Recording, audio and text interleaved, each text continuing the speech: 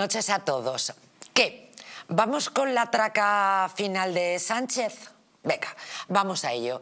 Esta misma mañana ha logrado la mayoría absoluta para eh, ser investido. ¿Gracias a qué? Gracias al PNV. ¿Por qué? ¿Por qué? Primero porque hay un nítido avance en el cumplimiento del autogobierno presente, del Estatuto de Guernica, y se sientan las, bases para negociar también el autogobierno futuro. Todo ello en un horizonte temporal máximo de dos años para ambos procesos. Respecto del autogobierno presente, se garantiza la negociación y el traspaso efectivo de todas las competencias pendientes. Y en cuanto al futuro, ambas partes aceptamos negociar sobre el reconocimiento nacional de Euskadi, la salvaguarda de las competencias vascas y un sistema de garantías basado en la bilateralidad y en la foralidad. Y esto eh, hoy, esta mañana, ayer nos hacíamos cruces con el pacto de Pedro Sánchez con Junts, o lo que es lo mismo, el acuerdo con un delincuente que salió de España metido en el maletero de un coche que rompe el Estado de Derecho, que quiebra el Estado y que termina sometiendo a España a un sometimiento, valga la redundancia, absolutamente intolerable. España está clamando y lo hacen desde todos los sectores. el clamor es unánime. Jueces, mm, gestores, mm, policías, inspectores de Hacienda, lo que quieran y por supuesto y fundamentalmente una sociedad civil que se ha levantado como hacía mucho tiempo quejándose, diciendo no al pacto de Sánchez, rebelándose ante una España vendida a un precio inaceptable, vendida ante delincuentes convictos y además confesos. Lo ha conseguido, ¿eh? Sin la más mínima duda, Pedro Sánchez ha conseguido ser investido, ha conseguido volver a ser presidente de España, una España fragmentada, rota, una España que se va al carajo, pero al, que le importa, ¿verdad? Pues nada. Adelante, Sánchez. Ahora bien, lleva tanto tiempo el tipo hincando rodilla frente a los nacionalistas que a mí me parece que ahora el señor presidente va a tener una cierta dificultad para mantenerse erguido. Y lleva tanto, tanto, tanto tiempo en posición oferente frente al delincuente de Waterloo, que a mí me parece que donde verdaderamente va a tener problemas a partir de ahora el presidente en funciones va a ser cuando se siente. Bienvenidos, esto es El Mundo al Rojo.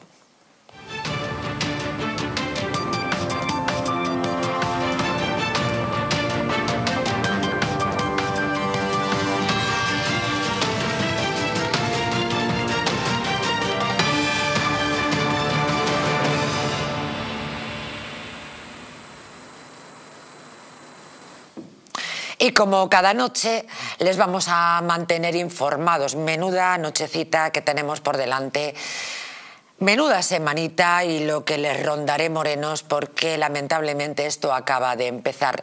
Les vamos a mantener informados durante estas próximas dos horas de televisión y les vamos a contar todo aquello que muchos medios desde luego ni asoman a explicarles y para ello pues contamos con un magnífico grupo de colaboradores. Roberto Centeno, catedrático de Economía Carlos Cuesta, periodista. Eric Encinas, periodista. Juan de Dios Dávila, presidente de Bosque Puzcoa, Almudena Negro, periodista y alcaldesa de Torrelodones, y Luis Magán, cofundador de la asociación Corpa. Y aquí comenzamos dando la bienvenida a nuestros invitados. ¿Qué tal? ¿Cómo estáis? Buenas noches. Todo, todo lo bien que se puede, Buenas ¿no? noches por decir algo. Todo lo bien que se puede. Bueno, lo de esta mañana tremendo lo esperabais. Esperabais que efectivamente el PNV diera esa mayoría absoluta. Lo que habrá firmado Sánchez con el delincuente Puigdemont para que esto que ha firmado con el PNV, que es gravísimo, nos parezca una bromita al lado de lo que conocimos ayer del acuerdo, yo lo voy a decir, entre delincuentes. que se firmó ayer. Convictos y confesos. Convictos y confesos. Vamos a hablar, naturalmente, de este pacto y del pacto con, con eh, Junts, con el delincuente de Waterloo, pero permítanme que abra el programa. Decía que el clamor en España viene de muchísimos sectores y de la ciudadanía española, pero es que hasta el CIS de Tezanos da la razón y dice que estamos en contra de la amnistía. Reconoce el rechazo que tiene la amnistía y pone al PP dos con seis puntos por delante del partido del PSOE, del Partido Socialista Obrero Español, bueno, de partido, porque ni socialista ni, ni obrero ni español en manos del perverso mm, Pedro Sánchez. El CIS explica eh, por qué perfectamente ha tragado todas las exigencias Sánchez separatistas. El PSOE cae y el PP, eh, y el PP sube.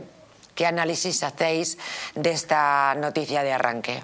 Bueno, yo, bueno, por daros. Ah, no, no, no, no, no, no. Gracias. Gracias, Juan de Dios. Bueno, yo creo que es un regalo.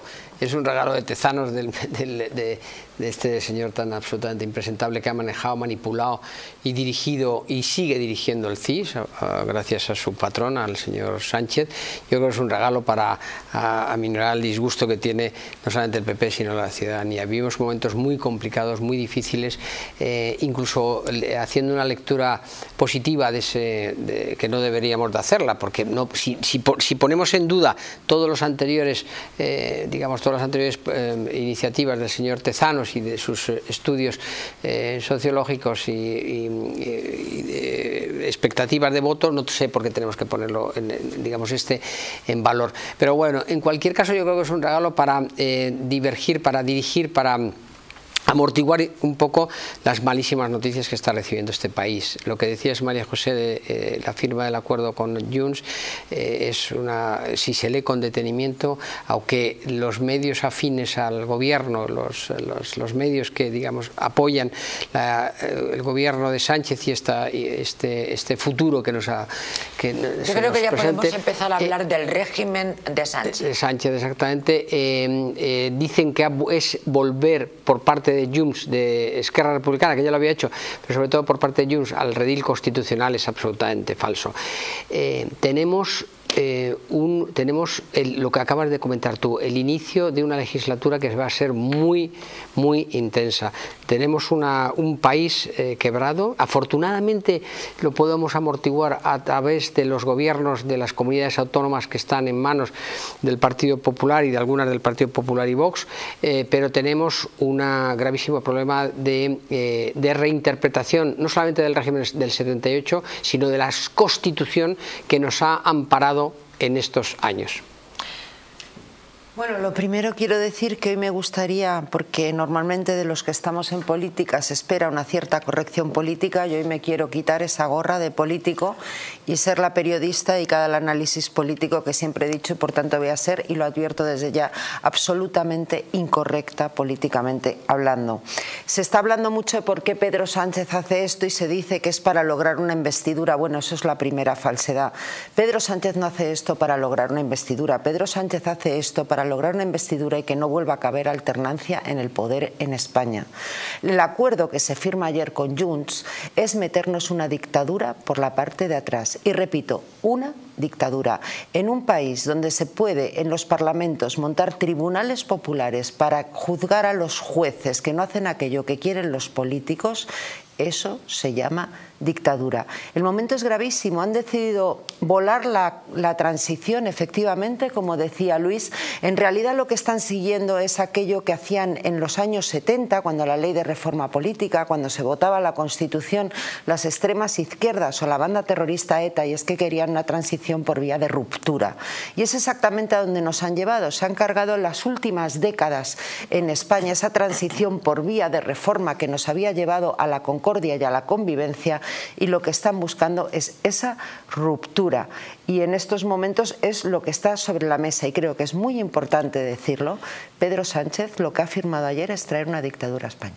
Y lo que ha afirmado y que lo vamos a, a, analizar inmediatamente con Roberto Centeno, catedrático de Economía, pero antes damos paso a Juan de Dios en esta primera rueda de apertura del programa que todo el mundo está deseando meter cuchara porque estamos eh, todos que no nos llega la camisa al cuerpo, la verdad. Bueno, yo eh, lo que quiero decir es que en este mismo programa y, y desde hace varios años, Hemos estado diciendo, yo he estado diciendo y otros eh, tertulianos han estado diciendo también que se estaba preparando un golpe de Estado institucional, que significaba que iba a tomar las instituciones del Estado del Partido Socialista Obrero Español para efectivamente hacer una dictadura, dar un golpe de Estado, cambiar el, el régimen. Pero es que esto está dirigido por ETA. Esto es el desenlace de un proceso que se ha iniciado desde hace muchos años en el que la firma del pacto de la banda terrorista y asesina ETA firmó con el Partido Socialista Obrero Español, con Eguiguren como jefe de ceremonias de, de, de, del tema. Quien dirige hoy este proceso es ETA. Si alguien espera que ETA, la banda terrorista ETA, si alguien espera que alguien que ha dado un golpe de Estado como Esquerra Republicana de Cataluña y Junts per Cataluña, que han dado un golpe de Estado que han malversado fondos, es decir, han robado. Si alguien espera que esta gente vaya a hacer algo por el bien común de todos los españoles, que abandonen todo tipo de esperanza. Esto solo se puede parar en la calle. Las instituciones que han tenido tiempo para poder pararlo no lo han querido hacer. Ahora vienen los lloros. Pero la realidad es que esto se veía venir, que realmente estaban rompiendo la independencia del Poder Judicial y no han querido decir nada. Pues esto lo paramos en la calle. Y mi primera propuesta, porque claramente hay que dejar en la calle la visibilidad, la, visibilizar esa oposición a este gobierno golpista, que ya es ilegítimo e ilegal, porque no venía eso en su, programa político, ¿Eh? Que esto, o sea, cualquier empresa hace eh, publicidad engañosa y tiene una multa. Y esta gente, y esta gente resulta que hace algo que no viene en el programa. Bueno, hay que poner la bandera de España en el balcón, que sean millones de banderas españolas en la calle que estén mostrando el disgusto. Y además, a la calle. Pues desde luego, sobre la convocatoria de manifestaciones, porque lo que hemos vivido esta semana tiene que ser pecata minuta para lo que esté por venir. La sociedad civil, como siempre, tiene la llave. Abundaremos, desde luego, a lo largo del programa. Con, tomamos contacto con el catedrático de Economía, con Roberto Centeno. Roberto, muy buenas noches. Muy buenas muy buenas noches, Roberto. Hemos escuchado hace apenas unos minutos al líder del PNV explicar los motivos por los cuales esta misma mañana le ha dado la mayoría absoluta, esa investidura a Pedro Sánchez para volver a erigirse como presidente de España, una España que, en fin, la tiene absolutamente destrozada. Te recordamos a ti y a todos los telespectadores que se habla de darla naturalmente el traspaso de competencias el reconocimiento nacional eh, de Euskadi y bueno, todo esto para ir haciendo para ir haciendo boca más, eso sí, unos 100 millones de euros del ALA para potenciar el euskera. Bueno, vamos a ver. Eh, eh, vamos un poco a, centrar el tema y empezar por el principio, porque el, tema es mucho más grave. Miren ustedes, queridos amigos, eh, realmente no existen palabras para describir la magnitud de la traición, la magnitud de la infamia y la magnitud de la vileza que hoy se está perpetrando impunemente ante nuestros ojos. No existe nada conocido, no ya en la historia de España, sino en la historia de las naciones. En España, lo más parecido, pero ni que ni siquiera se aproxima a lo que está sucediendo hoy, fue la traición de los hijos de Vitiza en la batalla de Guadalete en julio del año 711. Y digo que ni se aproxima porque al final del día los hijos de Vitiza se pasaron a un ejército poderoso comandado por un general enormemente competente, el, ejército del califato Omeya y el general Tariq Inciyat, ¿eh? y en nuestro caso señoras y señores, asómbrense, si todavía no lo están, se trata de una rendición de toda una nación ante una banda de criminales nazis que no tienen media bofetada y que una sola compañía de la Guardia Civil los barrería del mapa a los vascos y a los catalanes en cinco minutos. Estamos hablando, por tanto, de algo inédito que supera todo lo imaginable y que jamás había sucedido en la historia mundial. Un Estado de Derecho en llamas, como lo denominan todas las asociaciones de jueces con independencia de su adscripción política. ¿eh? Un Estado en llamas en manos de unos mindundis y que además en el colmo de los colmos hay que pagarles por destruir España. 112.000 millones de euros a los criminales nazis catalanes y 30.000 millones de euros a los siempre traidores del PNV. El PNV ha sido su señal de identidad, ha sido siempre la traición. Traicionó a la República, traicionó a, España porque quería formar parte de Inglaterra durante la guerra civil, ¿eh? pasar a ser una, un Gibraltar inglés. ¿eh? Y siempre nos han traicionado. Bien, además de lo que ya has dicho, ¿eh? se van a llevar como acabo de mencionar, 30.000 millones de euros que se unen a los 14.000 millones de euros que nos roban anualmente con el cupo vasco. Y aquí y ahora, señoras y señores, querido María José, la pregunta es, la patria está en llamas, ¿en dónde narices está escondido el rey? ¿Mm? España necesita una república constitucional.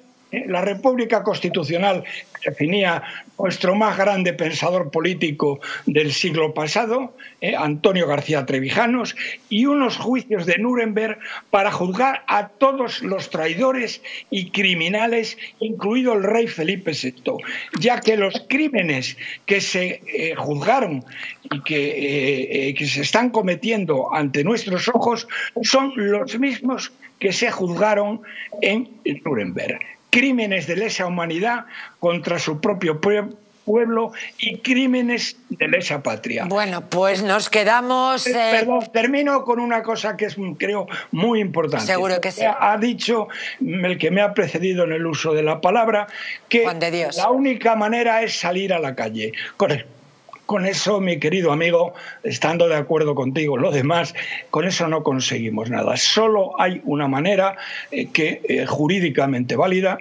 100% legal, eh, con la cual podemos frenar este tema. Y para ello, este tema me lo han comentado una serie de grandes juristas de este país, sobre todo... Tenemos que ir terminando, señor Centeno, por favor. Terminamos, pero esto es muy importante porque estoy dándoles ¿eh? la única manera de acabar con esto. ¿Qué, va, ¿Qué hay más importante que esto? María José, a ver, y en dos segundos o en dos minutos te lo digo. No, en dos segundos. Dos segundos. Pues dos minutos no puedo. En dos segundos, bien, en dos segundos.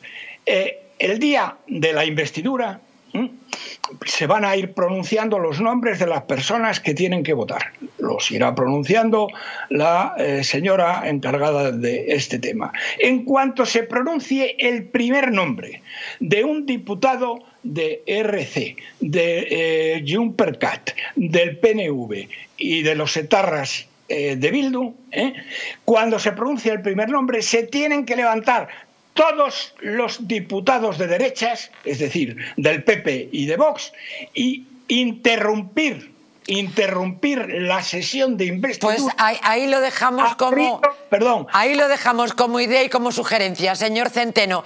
Tengo que repartir juego con el resto de nuestros colaboradores por absoluto respeto, como se lo tengo a usted. Muchísimas gracias, don Roberto. Un placer escucharle, como siempre. Siempre recordar que este programa, mm, naturalmente, no se responsabiliza de las opiniones de sus colaboradores. Eh, bueno, Roberto Centeno Centeno, como siempre, es un hombre tremendamente pasional que dice que con la calle no es suficiente. La realidad es que estamos ante un golpe de Estado. El Consejo General del Poder Judicial ha dicho que directamente se rompe el Estado de Derecho. Ha dicho que directamente se rompe la independencia judicial. Ha dicho clarísimamente que los políticos no pueden anular una sentencia en firme de, los tribunales. Sánchez garantiza. estamos en estas. Sánchez garantiza a Puigdemont el referéndum de autodeterminación. Eh, podemos eh, ayer ya desde luego comentamos esta noticia vamos a ver un vídeo muy aclaratorio referéndum, claro que han hablado y saben cuál es la posición del Partido Socialista y nosotros todo lo que hagamos se hará dentro de la Constitución. Esa ha sido nuestra línea roja y saben que cualquier cosa que se hablara sobre el referéndum, nosotros nos hemos limitado a la Constitución. Evidentemente, como bien dice, ha habido muchas jornadas de trabajo, el trabajo ha sido duro, ha sido intenso y bueno, el objetivo final se ha conseguido. De que nosotros estamos muy contentos con el acuerdo, estamos muy contentos con el pacto y Juspercat también está contentos con el pacto. No era fácil llegar a un acuerdo entre dos formaciones tan diferentes, pero insisto, han sido semanas de trabajo muy intenso, muy duro y afortunadamente hemos conseguido llegar a un acuerdo satisfactorio por ambas partes. Sí, sí, mucha posición oferente del presidente en funciones ante y frente al delincuente de, Waterloo. Qué curioso, ¿verdad? Recuperamos, he visto una portada del país, del portavoz, naturalmente del gobierno, concretamente de 2022, ponía Sánchez vuelve a cerrar la puerta al referéndum de independencia que pide aragonés. Si es que, señores, hasta el New York Times hasta el New York Times, esta mañana, no sé si estás de esta mañana o de ayer, recuerda a Sánchez que dijo que no concedería la amnistía a los separatistas que no ni la amnistía ni naturalmente eh, la, la independencia, el referéndum es absolutamente brutal, ¿no? Yo creo que como tenemos en cuenta, como hay que tener en cuenta que mm, nuestro presidente, nuestro futuro presidente, después de la semana que viene, es un mentiroso compulsivo, yo lo que les diría a los firmantes de los acuerdos es que eh, lo tengan en consideración. Quiero decir que de la misma manera que ha estado engañando a todo el pueblo español, eh, eh, les estará engañando a ellos. Eso es un argumento que dan dentro del, Partido Socialista. Es decir, el Partido Socialista dice entre sus entornos, entre los varones entre los militantes de cierto nivel, que han engañado, han conseguido engañar a Puigdemont y que han ganado tiempo. En, definitiva, por mucho que digamos, por muchas situaciones que planteemos, por el futuro incierto que nos espera, la evidencia única que tenemos en este momento es que dentro de una vamos a tener un presidente, un presidente que perdió las elecciones, quiero recordar que perdió las elecciones y que le vamos a tener amparado por aquellos que no solamente eh, perdieron las elecciones, sino que quieren romper España. Almudena Negro, Puigdemont va a pedir un referéndum en la primera reunión con, con el gobierno constituido con cuatro verificadores. Sí, pueden proponer, por ejemplo, como verificador a ese delincuente que ahora llaman experto jurista llamado Baltasar Garzón. Me parece que es una de las posibilidades. O, por ejemplo, al abogado Gonzalo Boyé, encausado por narcotráfico, que ahora se va a ver beneficiado por la amnistía. O lo podría verificar la señora Borrás, encausada por malversación, o los CDR. Vamos a ver, esto es todo un disparate. Y lo que decía Luis hace un momento, ese argumento que se quieren creer las bases del PSOE de que han conseguido engañar a Puigdemont. Yo creo que es que las bases del PSOE lo vimos lamentablemente recientemente cuando incluso pedían la expulsión de Felipe González del Partido Socialista el día que expulsaban a Nicolás Redondo Terreros. Es que son bases completamente infantilizadas. Si es que el problema es que llevamos mucho tiempo abonando el terreno para lo que hoy está sucediendo. Por supuesto que van a llegar a un acuerdo y por supuesto que Puigdemont es un delincuente, es un golpista, pero no es un tonto y es el que tiene cogido por los vagones a Sánchez. Y esta es la realidad. Y, y Sánchez, si quiere mantenerse en el poder el tiempo necesario para liquidar la posibilidad de que haya alternancia, que es lo que va buscando, algo que describíamos en un libro que publiqué junto a un politólogo en el año 2020 titulado La tentación totalitaria, es decir, si quieren llegar a esa dictadura, tiene que conceder todo lo que pida Puigdemont a Puigdemont, a, los del PNV y ya veremos si no acaba incluso de rodillas ante los CDR. es, que, esa es la realidad. Y las reuniones bilaterales, eh, señores, van a comenzar a partir del 20 de noviembre. Hemos escuchado al inicio del programa al líder del PNV hablar de acuerdos bilaterales y ahora mm, estamos eh, de reuniones bilaterales. Vayan quedándose con el término. Pero si es que el problema, desde mi punto de vista, evidentemente, es que no es solo que, que, Pedro Sánchez quiere mantenerse en el poder. Evidentemente quiere mantenerse en el poder. Quiere acabar con la alternancia. El, el tema de fondo es que está de acuerdo en el mismo proyecto de España que tiene ETA y que tiene el golpismo secesionista catalán, que no Cataluña ni los catalanes, sino partidos secesionistas catalanes y lo mismo que ETA. Ese es el problema. Cuando Tegui dice hace mes y medio en un mitin que quiere un Estado marxista, laico, cuando dice laico, antiteo, o sea, antidios, antilibertad religiosa, y republicano, y que para conseguir eso primero hay que romper España, está definiendo el proyecto político que tiene ETA, que es lo que se firmó, que es exactamente el mismo proyecto político que tiene el PSOE. El PSOE podría haber pactado una investidura con el Partido Popular que se la ofreció no lo habría conseguido con Vox, pero sí con el Partido Popular se lo ofreció. No ha querido. ¿Por qué? Porque su proyecto pasa por lo que quiere ETA y lo que quiere el golpismo secesionista de algunos partidos catalanes. El, el meollo, la cuestión, la gravedad es que el proyecto dictatorial de ruptura de España, de hacer que los españoles ya no seamos libres e iguales allí donde estemos, ese es el problema. Adicionalmente, evidentemente, este señor, Pedro Sánchez, quiere mantenerse en el poder. Claro que sí, pero lo gordo es que el proyecto está ahí. Lo gordo es que esto se veía venir y lo hemos estado denunciando. Hemos estado denunciando que querían la toma del Tribunal Constitucional, que querían la toma del Tribunal de Cuentas, que querían la toma del Consejo del Poder Judicial, que gracias a Dios, pero a puntito estuvieron de conseguirlo, a puntito estuvieron de conseguirlo, precisamente para dar un golpe desde las instituciones. Porque Conde Pumpido, antes de tomar posesión como presidente del Tribunal Constitucional, que dijo que cualquier demanda que pusiese Vox sería no tenida en cuenta, es decir, menuda independencia se veía venir. Esto, señores, las instituciones que para algo están, no para tener el puesto, no para tener el dinero, no para tener el prestigio, sino para tener la responsabilidad de defender lo que tenían que defender, no lo han hecho.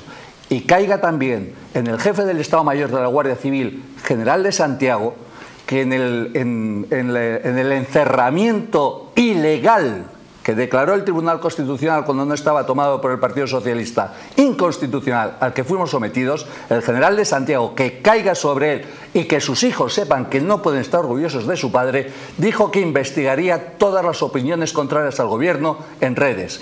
Se veía venir esta dictadura que está empezando. Señores, estamos en estado de máxima alerta. Está en riesgo la libertad. Ni partidos políticos, ni ninguna monserga. La dignidad y la libertad de los españoles está en grave peligro. Ya el choque de trenes ha venido. No hay manera de no tomar partido.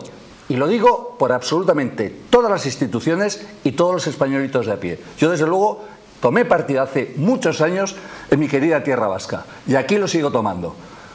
Veamos el partido que toman todas las instituciones, todos los responsables de esas instituciones y, por supuesto, todos los españolitos de a pie.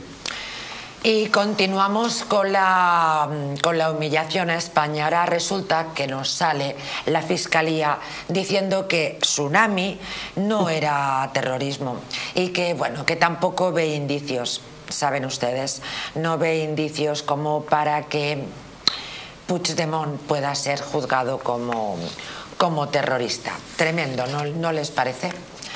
Pues permítame citar a un tal Pedro Sánchez cuando dijo la Fiscalía de quién depende. Pues eso, ya está contestado.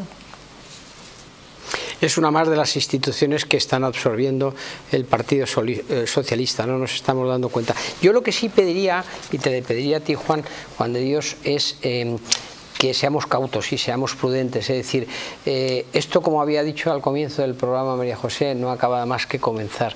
Y no podemos utilizar em, eh, palabras de tanto peso como lo, que estáis utilizando en los momentos que todavía no sabemos por dónde va a derivar. Todavía puede llegar a ser mucho peor. decir que puede, ser mucho peor. Puede, ser a mucho peor porque vamos a tener, vamos a, a seguir teniendo dentro del partido del gobierno a una formación política que ampara, defiende o por lo menos no ha criticado el mayor crimen que se ha cometido en los últimos años, en los últimos años después de nuestro 11M y del 11S y tal, que son los asesinatos por parte de Hamas de, por parte de Hamas de, tal. Vamos a tener tres, si no me equivoco, tres ministros de Podemos en ese gobierno. Vamos a tener, eh, vamos a tener, eh, vamos a seguir teniendo y soportando a alguien tan delegnable como el señor Tezanos que lo, sostiene en contraviento y marea este señor. El INE, te, has faltado recordar el INE, la sustitución del INE, la Fiscalía, la Fiscalía, el, eh, Conde Pumpido que va a parar aquellas eh, iniciativas que puedan poner, o mejor dicho, va a parar, no a parar, sino va a parar las iniciativas que puedan poner en peligro este, este, este gobierno. Pero yo para finalizar, solamente quiero decir una cosa. Desafortunadamente, este país eh, ha votado eso. Es decir, ha votado, desgraciadamente no, tuvimos la suficiente, tuvimos no tuvimos la suficiente holgura en el triunfo del Partido Popular para llevar adelante un gobierno que tenía, desde el principio sabía que no se, van a, no se iban a encontrar con el, eh, con las vamos, con el amparo em, eh, ni con el apoyo de los partidos periféricos, porque es así, porque en los partidos de derechas de este país, los partidos de derechas de las comunidades autónomas siempre han, maquillado su rostro con la cercanía a la izquierda. Es decir, el PNV es un partido de derechas, claramente de derechas, que lo lógico es que estuviera eh, eh, negociando o eh, llegando a acuerdos con el Partido Popular y eso no es así. Y, con, y, el, y Junts, no te quiero contar la derecha que es. Reconduzco todo esto, si me lo permiten, porque me parece muy importante recordar que la Fiscalía de Sánchez ahora dice que no es terrorismo eh, en los movimientos del tsunami con todo lo que aquello conllevó y que mm, no encuentran ningún motivo para poder imputar a Puigdemont como terrorista. La Fiscalía ya se ha pronunciado en el caso Tsunami Democratic y ha presentado este viernes su recurso contra la resolución dictada el pasado lunes por el juez instructor Manuel García Castellón, en la que citaba como imputados por presuntos delitos de terrorismo al expresidente catalán Carles Puigdemont y a la secretaria general de Esquerra Republicana de Cataluña, Marta Rovira, entre otros. El Ministerio Público considera que los indicios para imputar a Puigdemont son insuficientes. También añade de que la Audiencia Nacional carece de competencias para seguir adelante con estas pesquisas, por lo que deberían enviarse a los juzgados catalanes, ya que durante los cuatro años de investigación no se han encontrado elementos suficientes que permitan sostener la existencia de una organización o grupo criminal, ni tampoco de carácter terrorista de los hechos bajo sospecha. El pasado lunes, tras conocerse el auto del magistrado, fuentes fiscales ya indicaron que la acusación pública daría el paso que ha materializado este viernes, con la presentación del recurso de apelación dirigido directamente a la Sala de lo Penal de la Audiencia Nacional. Todo después de que el PSOE haya cerrado el acuerdo de investidura con Junts que bueno, pues ahí, ahí lo tenemos, eh, la Fiscalía de Sánchez. lo primero que quiero decir es que yo no creo que esto se haya votado. Y un ejemplo es que el hermano gemelo de Paje, socialista, dice desde los 18 años, se ha dado de baja. Y él probablemente votó a Sánchez. Como eso hay muchos. ¿Por qué? Porque han mentido. Muchos, pero no, no, los suficientes. No, no, espera, no pero, pero Luis, la realidad es que no hemos podido o no sé qué, no hemos conseguido transmitir esto. Porque esto, ¿qué es lo que ha pasado en este mismo programa? Lo venimos diciendo unos cuantos, desde hace dos o tres años. Y eso en las calles también. Si alguien saca de la cárcel a asesinos, a criminales, a ladrones, pues probablemente de qué se va a llenar la cárcel. De lo contrario. Porque el que es un asesino y el que es un ladrón, lo que le molesta es el tipo de persona que tiene las ideas a las que ha asesinado, a las personas que, que, tenían esas ideas y que las ha asesinado. El tío que ha robado, lo que no soporta es que haya un tío honrado. Entonces, no son palabras gruesas, es la realidad. La realidad es que Otegui fue condenado por un secuestro y tiene pendiente juicio, o bueno, no juicio, tiene pendiente una causa por ocho secuestros, más y un asesinato. Eso es Otegui. Esto no son palabras gruesas, es la realidad. Si no queremos ver la realidad, no vamos a poder solucionar los problemas. Lo que estamos es ante un golpe de Estado. Estamos ante la ruptura de la independencia judicial. ¿Por qué? Porque cuando el Poder Judicial es ostentado por el Poder Político, eso se llama dictadura. No sé si os llama la atención o creéis que ha sido pura casualidad que esa reunión bilateral con los verificadores fuera de España, naturalmente, eh, el Partido Socialista y el delincuente de Waterloo, tenga lugar el 20N. Quiero recordar que es el aniversario de la muerte de, de, Franco, también de José Antonio Primo de Rivera. Bueno, pues justamente ese día va a ser el escenario de la reunión entre el PSOE y, Junts para comprobar los acuerdos alcanzados. Este es uno de los puntos del pacto no escrito de socialistas y separatistas. Ambos han acordado que sea en este, en este país, fuera de, de España, fuera de la Unión Europea el que acoja el primer encuentro para encauzar la solución a un conflicto histórico, según se recoge en el documento que han firmado este jueves los dos eh, partidos en Bruselas, porque tenemos que recordar que cuando se habla de pacto de Estado, el presidente en funciones firma un pacto con un delincuente y además en Bruselas. Oiga usted, hágalo en la Plaza de Toros de las Ventas. Es tremendo. Es, eh, o sea, desde el minuto uno del acuerdo, desde el minuto uno, o sea, desde el primer párrafo, y quiero recordar el primer párrafo, eh, el Partido Socialista ha aceptado todos los, eh, todo aquello que estaba diciendo que no iba a aceptar nunca. En el primer párrafo, la tercera línea dice, una para abrir una nueva etapa y contribuir a resolver el conflicto histórico. El conflicto histórico, es decir, que lo mismo que pueden hacer, firmar esto con estos, podían firmar lo, que tú bien dices, con EH, EH Bildu y con los herederos de ETA diciendo que José Bretón.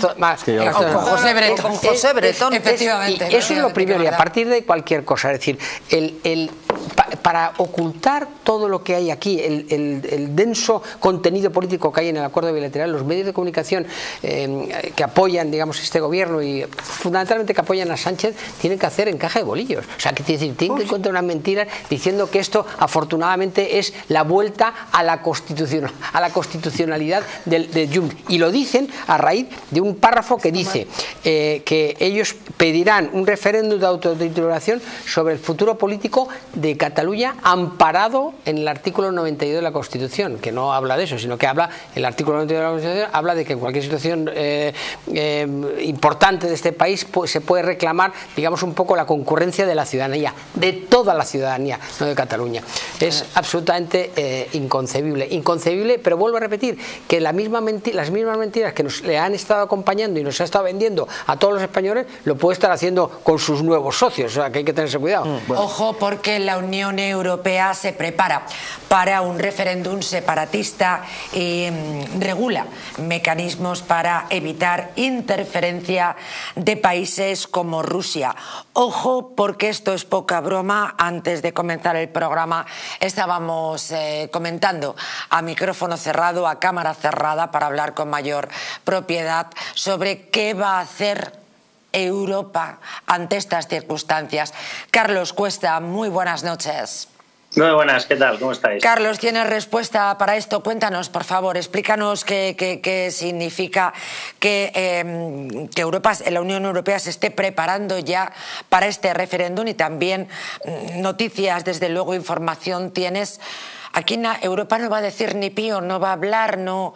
Se está pidiendo en una manifestación de ayer ante el Parlamento Europeo, se estaba haciendo un SOS a Europa, Carlos.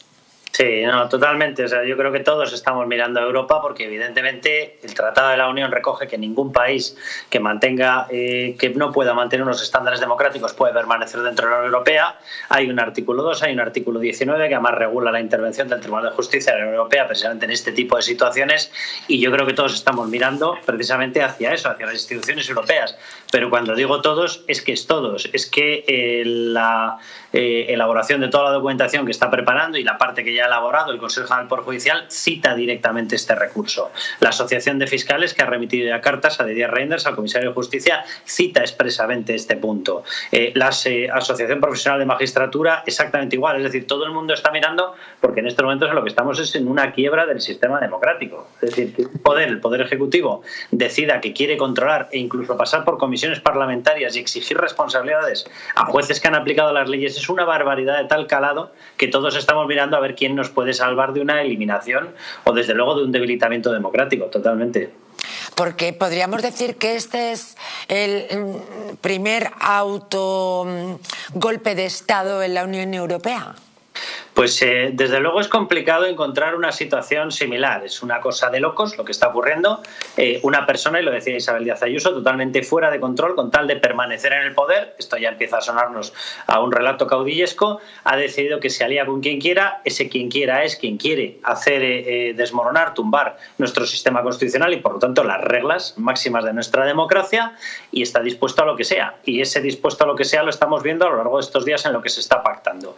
Ese, ese famoso concepto del lawfare, que es una auténtica locura, por cierto, que viene incorporado de países, tú me preguntabas antes, de hecho, por los mecanismos para intentar proteger un sistema tanto eh, de elecciones como de referéndums de una interferencia extranjera. Bueno, el, el concepto lawfare que ha sido introducido por primera vez en algo parecido a un documento, es prelegislativo, pero en teoría se tiene que trasladar a la ley de amnistía, es un concepto que viene precisamente de esas maquinarias de exportación del comunismo. Viene del concepto que han estado utilizando Venezuela, Cuba, Argentina. ¿Quién es el patrocinador de todo eso? ¿Quién está en contacto con todos ellos? Sigue estando exactamente igual que lo ha estado toda la vida Rusia, que a su vez mantiene esas conexiones con Irán, etcétera. Es decir, esto es una cuestión que va mucho más allá de una defensa nacional y por eso yo creo que todos estamos mirando precisamente a la Unión Europea.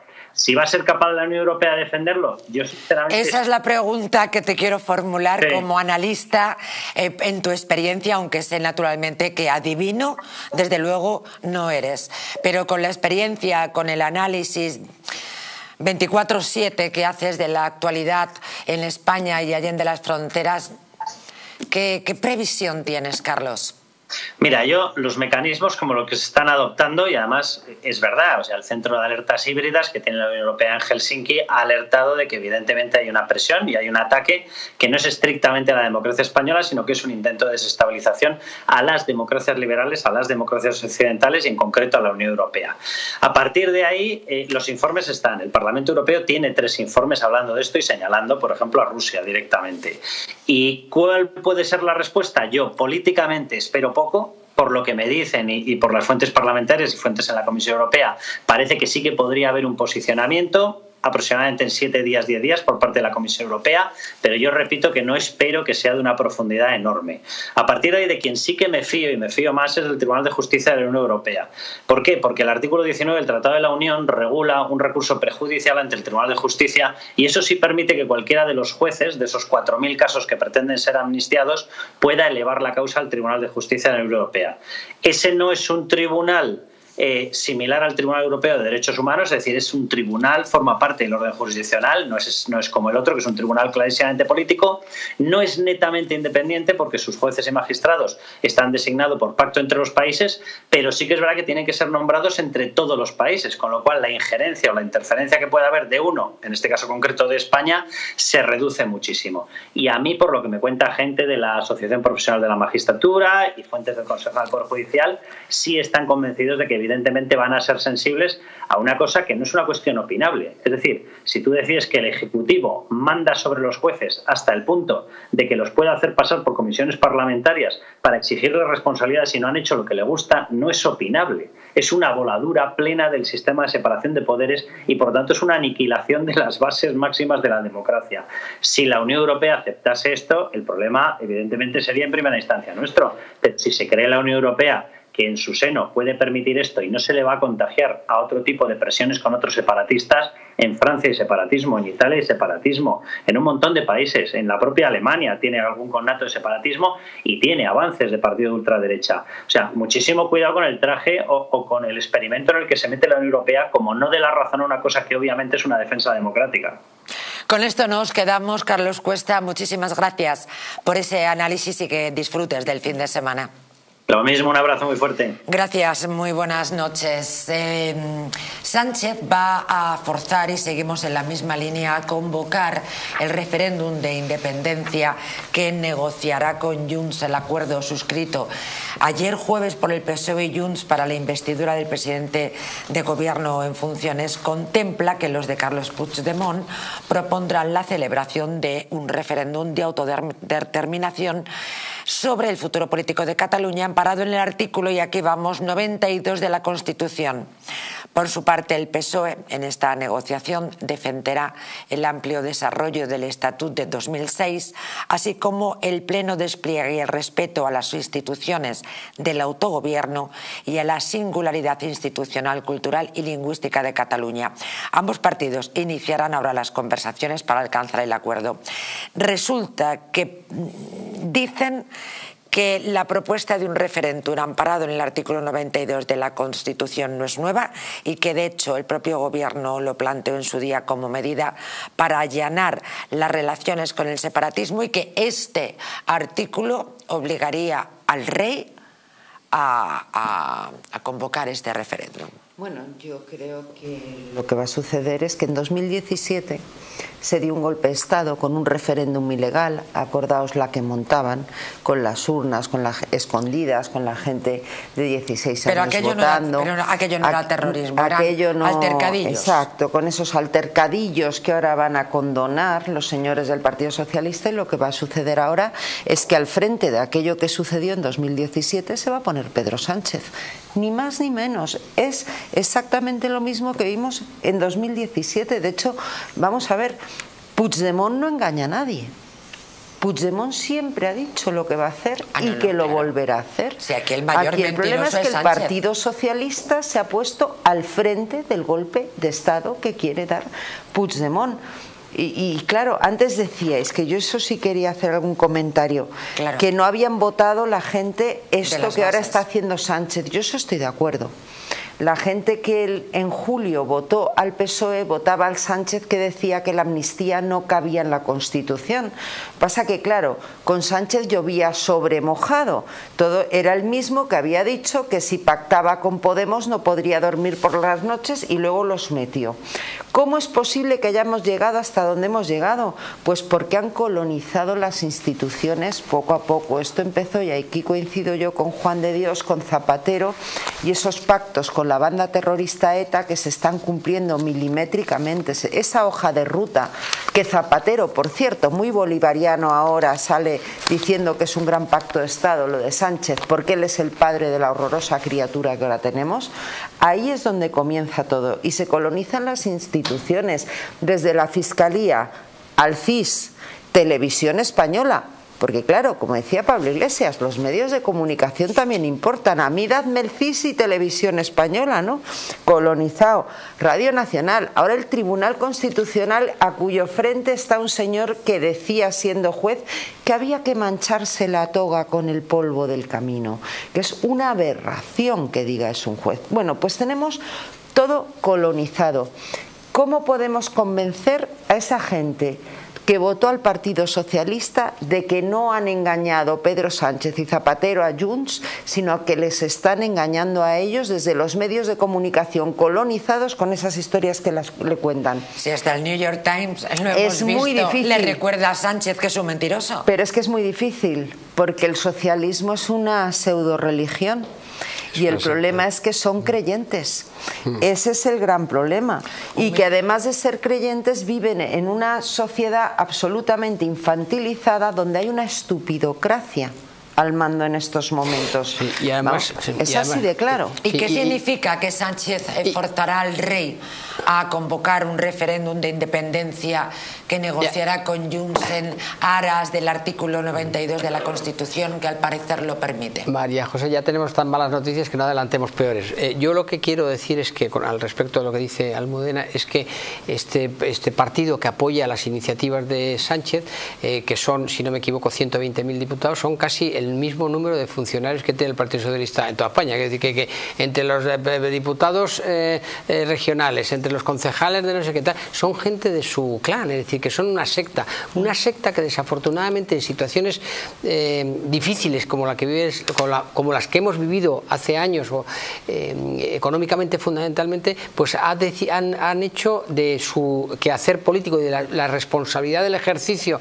de, la política, pues han hecho una, un, eh, un, trabajo, han hecho una profesión y, es muy difícil revertir de esto. Estamos en un momento muy difícil, no anticipemos situaciones que pueden ser todavía mucho más complicadas. Pero yo no me las invento, no me las invento, están en la prensa hoy. Esta es una noticia que esta es una noticia que yo recojo de la prensa, no, no es solamente la prensa, es no que la he redactado yo, ¿eh? Es que los que van a dar el, apoyo lo han dicho, que quieren una república. Claro. Y lo que han dicho, es que, lo, que han dicho es que van a seguir el gobierno los compromisos que se han firmado.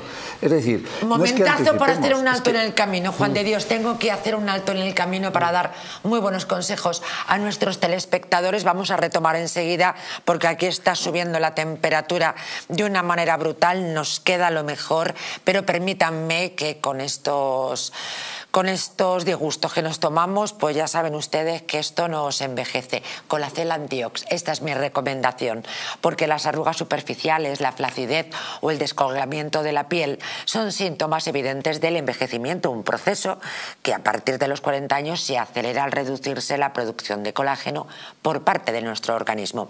Colacel Antiox de Mundo Natural es un complemento alimenticio que aporta colágeno hidrolizado puro de alta absorción y también antioxidantes también vitamina C, no lo olviden, una vitamina esencial que contribuye a la formación de proteínas de relleno de la piel, como son el colágeno, la elastina, la tropoelastina o el ácido hialurónico. Gracias a su completa composición, un sobre al día de Colacel Antiox produce, fíjense, ¿eh? el mismo efecto que tres envases de otros productos similares. Confía en Colacel Antiox, mucho más que colágeno de venta en tiendas especializadas, en el 914 46 0000 y en parafarmaciasmundonatural.es. Ni se muevan, no se pierdan lo que viene.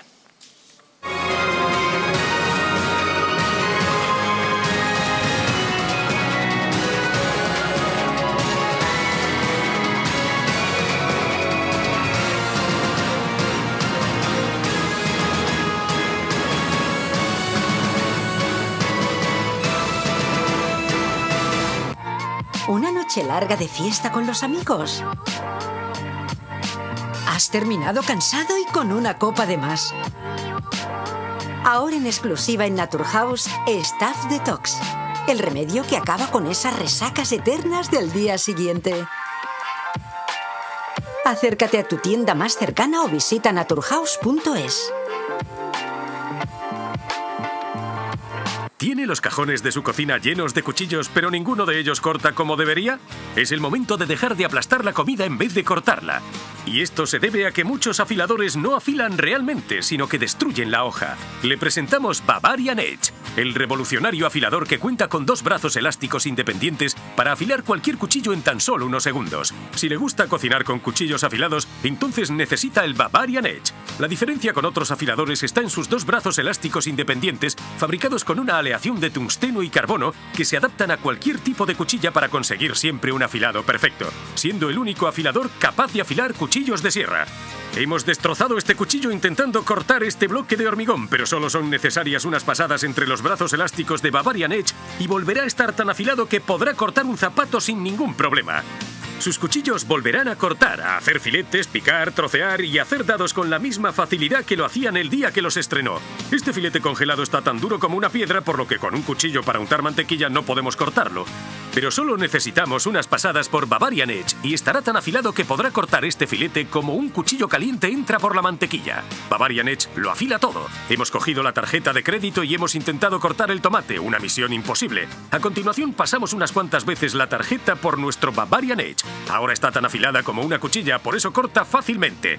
La diferencia con otros afiladores está en sus dos brazos elásticos independientes, fabricados con una aleación de tungsteno y carbono, que se adaptan a cualquier tipo de cuchilla para conseguir siempre un afilado perfecto, siendo el único afilador capaz de afilar cuchillos de sierra. Otros afiladores de cuchillos podrán costarle más de 100 euros, pero si llaman ahora, Bavarian Edge puede ser suyo por el magnífico precio que aparece en pantalla. Además, si llama en los próximos 5 minutos, podrá conseguir su segundo Bavarian Edge a mitad de precio. Pero dense prisa porque esto no es todo. Las primeras 300 personas en hacer su pedido no tendrán que pagar los gastos de envío. No pierda más tiempo y llame ya. ¿Quieres proteger tu sistema inmunitario de la gripe, COVID y otras enfermedades? Inmunad Z es un complemento elaborado con zinc y base de vitaminas C1, B6 y D3 que permiten aumentar las defensas y mejorar las respuestas del sistema inmunitario. Además, posee antioxidantes que reducen el envejecimiento y mejoran el estado de ánimo. Con Inmunad Z, las defensas al poder. Acércate a tu tienda más cercana o visita la web naturhaus.es. Hotel Las Dunas, un lugar mágico en el corazón de la Costa del Sol. En primera línea de mar, situado en un oasis de armonía, tranquilidad, enfocado en la salud y bienestar de nuestros huéspedes. Desconecta del estrés y la monotonía del día a día. Estancias con programas exclusivos y personalizados de salud, rejuvenecimiento y control del peso. Elegancia y bienestar junto al mar sin renunciar a la actividad y la vida saludable. Descubre las Dunas Hotel Health and Spa, el más exclusivo de toda la Costa del Sol.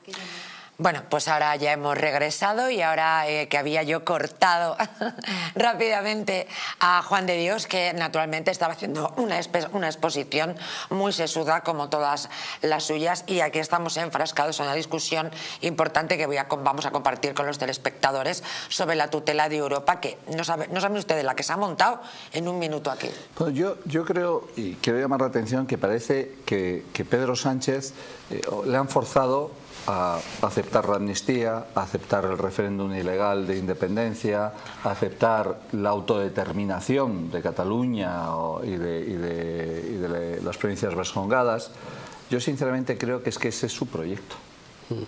Es decir, ha escenificado algo que es lo que quería. ¿Cómo lo ha escenificado? A través, evidentemente, de unas elecciones en las que ha conseguido esa mayoría, porque la ha conseguido, él perdió las elecciones, pero ha conseguido configurar una mayoría con aquellos que quieren destruir España. Pero la situación es tan surrealista como que Otegui, que fue condenado por pertenecer a ETA y, secuestrar a una persona, a un, industrial, es el que va a ser el próximo Lendakari, es, es el que está marcando la, la, agenda. Es que es todo tan surrealista como Esquerra Republicana Junts, que han dado un golpe de Estado y dicen que van a seguir trabajando para la independencia de Cataluña. Los vamos a integrar en el gobierno de España para destruir España, pagándoles encima a nosotros para destruir España. Esto solamente se puede explicar con un presidente del gobierno, Pedro Sánchez y con Partido Socialista, que realmente quieren ese proyecto. Porque si no, evidentemente hubieran dicho, mira, pues no puedo gobernar o llego a un pacto con el Partido Popular, una serie de medidas que no puedo llegar al 100%, pero alcanzo si realmente viesen que ese proyecto les parece una barbaridad. Claro, cuando llegas a ese proyecto, que es una auténtica barbaridad, es porque quieres ese proyecto. Pero creo que el choque de trenes es ya imposible de evitar. Y me explico. Cuando tú estás diciendo que aceptas la amnistía, es decir, que el que cometió un delito realmente no cometió ese delito y que el que cometió el delito fue el juez que lo juzgó, aplicando la ley, cuando tú aceptas que vaya a haber un referéndum de, independencia en Cataluña y por tanto también en Vascongadas, ¿cómo que no vas a plantear la República? Vamos, si eso es, lo de menos. O sea, eso es casi lo de menos. Es decir, el choque de trenes se va a producir, se va a producir en breves semanas. Y ahí, insisto, todas las instituciones todos los responsables, todos los españoles, tendremos que tomar partido porque lo que nos estamos jugando es nuestra libertad. Ni más y de ello vamos a hablar y también de cuáles han sido las reacciones. Muchas ah, las pudimos analizar ayer en este programa, en El Mundo al Rojo, con su titular, Jesús Ángel Rojo, pero España no deja de bramar y tenemos también hoy para seguir compartiéndola con todos ustedes. Pero antes de pasar a, ese levantamiento que, que estamos teniendo, no solamente la ciudadanía, sino que también apuntan maneras diferentes colectivos. Permítanme que les diga que Puigdemont anda el tipo presumiendo y además le va todo de que tendrá sometido a Sánchez a un chantaje permanente. Eh, Puigdemont, que bueno, no, no aceptó preguntas ayer eh, cuando se realizaron, cuando se realizó el pacto, ha subrayado la importancia de la figura del mediador internacional y de que las dos mesas que establecerá con el gobierno llevará a cabo sus reuniones, ojo, vuelvo a repetir, fuera de España y bajo supervisión constante del grupo de relatores independientes e internacionales. Según Puigdemont, atiendan, ¿eh? el acuerdo suscrito con el PSOE supone que iniciamos un camino y ahora solo celebramos la puesta en marcha de un proceso de negociación asumiendo que el pacto no supone en sí la resolución del conflicto. Pero atense los machos. También destacó que no nos hemos fijado ningún límite, salvo la voluntad del pueblo de Cataluña, dice el delincuente de Waterloo. Además, ha subrayado que el PSOE acepta el marco independentista. Uno, que el referéndum ilegal del 1 de octubre no fue delito y ojo, y que el Estado llevó a cabo una guerra sucia contra el independentismo. Lo voy a repetir para que no quede la más mínima duda, que el Estado realizó una guerra sucia contra el independentismo.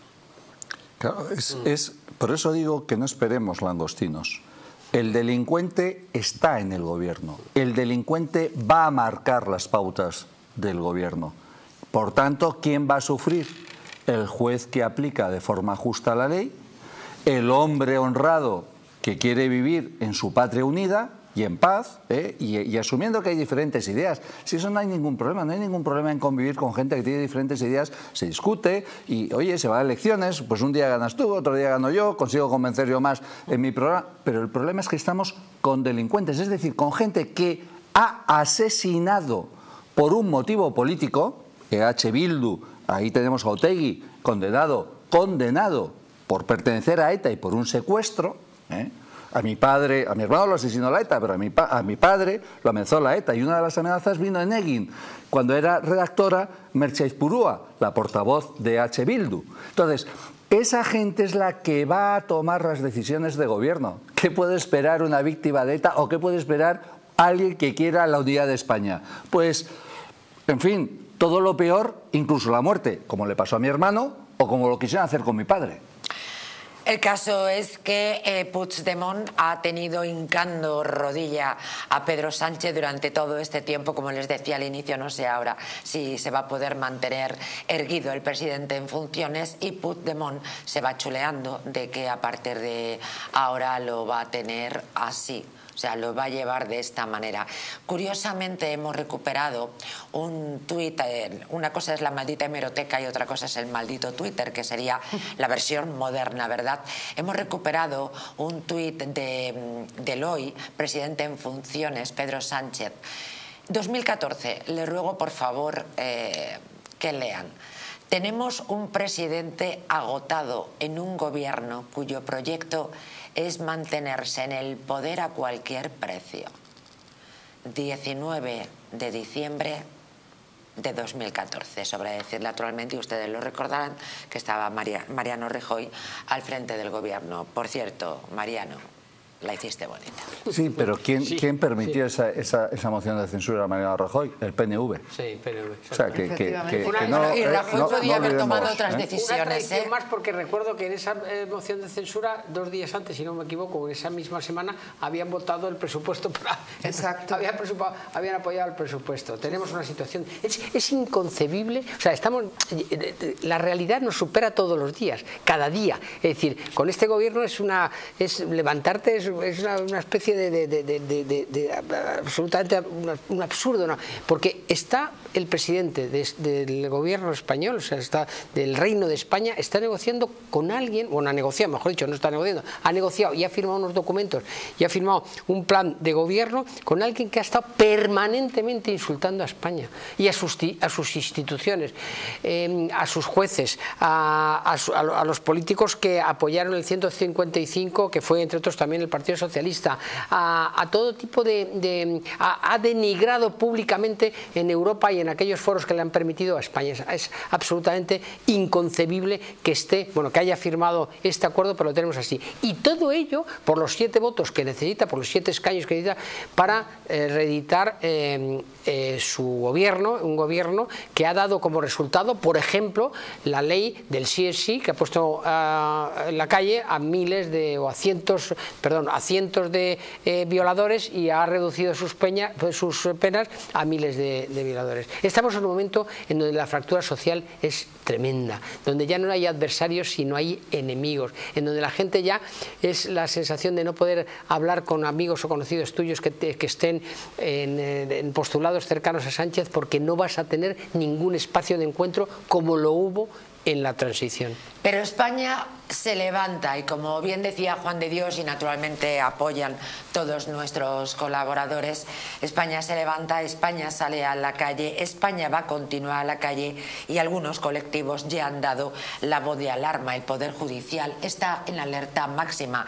Dice que Sánchez ha abierto la puerta a encarcelar a jueces por haber aplicado la ley. El mismo Poder Judicial que pone en conocimiento a la Unión Europea el ataque al Estado de Derecho en España por los acuerdos de investidura. Vamos a verlo. El Consejo General del Poder Judicial ha puesto en conocimiento de la Unión Europea los, según sus palabras, graves episodios de ataque al Estado de Derecho en España, tras los acuerdos alcanzados por el PSOE con Esquerra y Junts para investir a Pedro Sánchez, presidente del Gobierno, remitiendo a las autoridades comunitarias las dos declaraciones adoptadas en este sentido por el órgano de gobierno de los jueces. Según las fuentes del CGPJ, el Consejo ha remitido ambos textos a la presidenta de la Comisión Europea, Ursula von der Leyen, a la vicepresidenta del Gobierno comunitario, Vera Jourova, al comisario de Justicia, Didier Reinders, al presidente del Consejo Europeo, Charles Michel, y al jefe de la diplomacia europea, Josep Borrell. El CGPJ alerta de que el pacto incluye la posibilidad de investigaciones contra jueces que serían llevadas a cabo por partidos políticos en el Parlamento, vulnerando el marco de protección de la independencia judicial establecido en las leyes. Objetivo Europa, ¿no? De una o de otra manera. Bueno, claro, es que lo que está sucediendo con la justicia es muy grave. Eh, yo quiero recordar que ha habido otros países como Polonia, Hungría, donde se intentaba también domeñar a la judicatura y al final la Unión Europea intervino. Yo creo que ya están tardando en intervenir en España y máxime después del escrito que el comisario Reinders manda al gobierno y, mira y Bolaños le contesta como, tomándole por tonto como nos toma el resto de españoles a la propia Comisión qué Europea. Soberbia, qué yo, soberbia. Yo, cre yo creo que más que soberbia es estupidez porque creo sí. que el gobierno es un gobierno de estúpidos. Y lo digo, ya no, no lo digo como la acepción de la palabra, sino en el sentido en el que lo han estudiado Voltaire y unos cuantos. Y es que no hay nada peor en política que un estúpido. Yo creo que esta es una estupidocracia en la que estamos ahora mismo. Pero fijaos de lo que estamos hablando. Quieren evitar que haya alternancia en el poder. Eso está claro, por Dictadura. eso quieren el poder. Se cargan la separación de poderes, Dictadura. que ahora los parlamentos decidan qué jueces pueden ser juzgables. La representación, no sé yo cómo anda.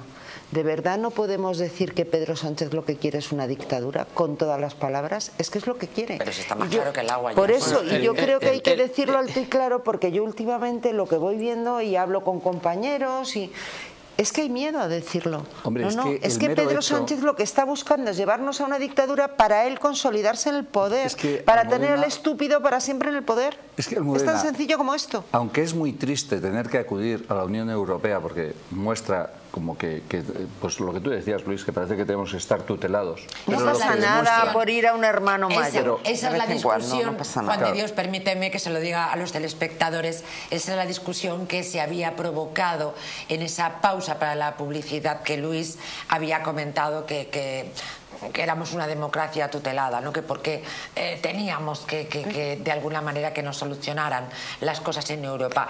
Esa era la discusión que se había provocado y, y que quería compartir con y eso, ustedes. eso es muy triste, no pero lo que muestra es el peligro de dictadura. Porque cuando los propios jueces, cuando el propio Poder Judicial está pidiendo amparo ante Europa, claro. es que sabe que en España el gobierno lo que va a hacer es laminarlo. Y entonces está pidiendo ayuda fuera porque sabe que desde dentro su futuro es que los va a eliminar.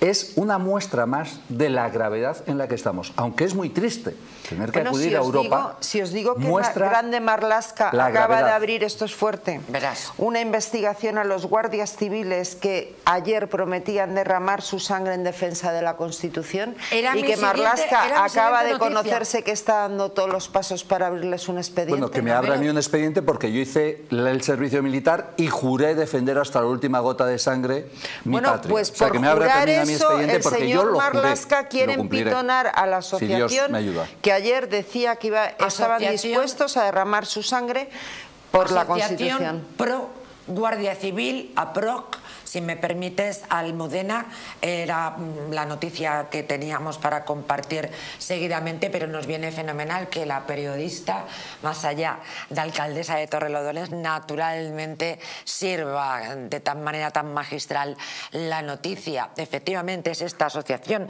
a la cual eh, te refieres y mm, noticia que naturalmente ha compartido con nosotros sobre cómo se le están poniendo los ya me entienden a Marlasca y bueno no voy a hacer el chiste fácil, naturalmente. Prosigamos y naturalmente lo que va a hacer es pedientar. Estos guardias civiles, eh, esta asociación, la más, pues de las más representativas, eh, vuelvo a repetir, Asociación Pro Guardia Civil, ha emitido un duro comunicado contra el pacto, porque también ha caído, pero vamos, como una bomba en el seno de la Guardia Civil este, este pacto de la traición entre PSOE y Junts y dicen quienes tenemos los instrumentos para ejercer el monopolio de la fuerza Entendemos que solo la Administración de Justicia tiene legitimidad constitucional y capacidad material para velar en este momento porque los principios superiores de nuestro ordenamiento jurídico, recogidos en el artículo 9 de la Constitución, no se conviertan en papel mojado, indica el texto, y apuntan que están dispuestos a derramar hasta la última gota de nuestra sangre en defensa del orden constitucional.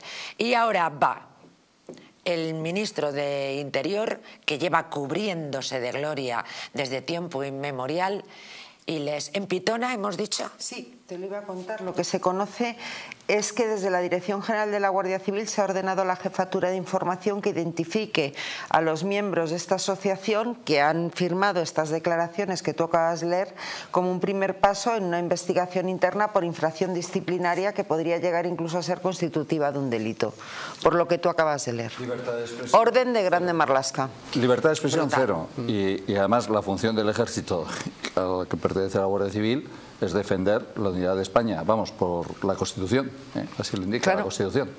En otros momentos en este país, eh, y además todavía en el recordatorio de muchos de los que vivimos aquellos difíciles eh, días, y todavía mucha gente viva, lógicamente, una de las grandes portadas, uno de los grandes hitos del periodismo español fue la portada del país en el día 23 de febrero, en el que decía el país con la Constitución. Hoy día defender la Constitución puede ser incluso penado, ¿no?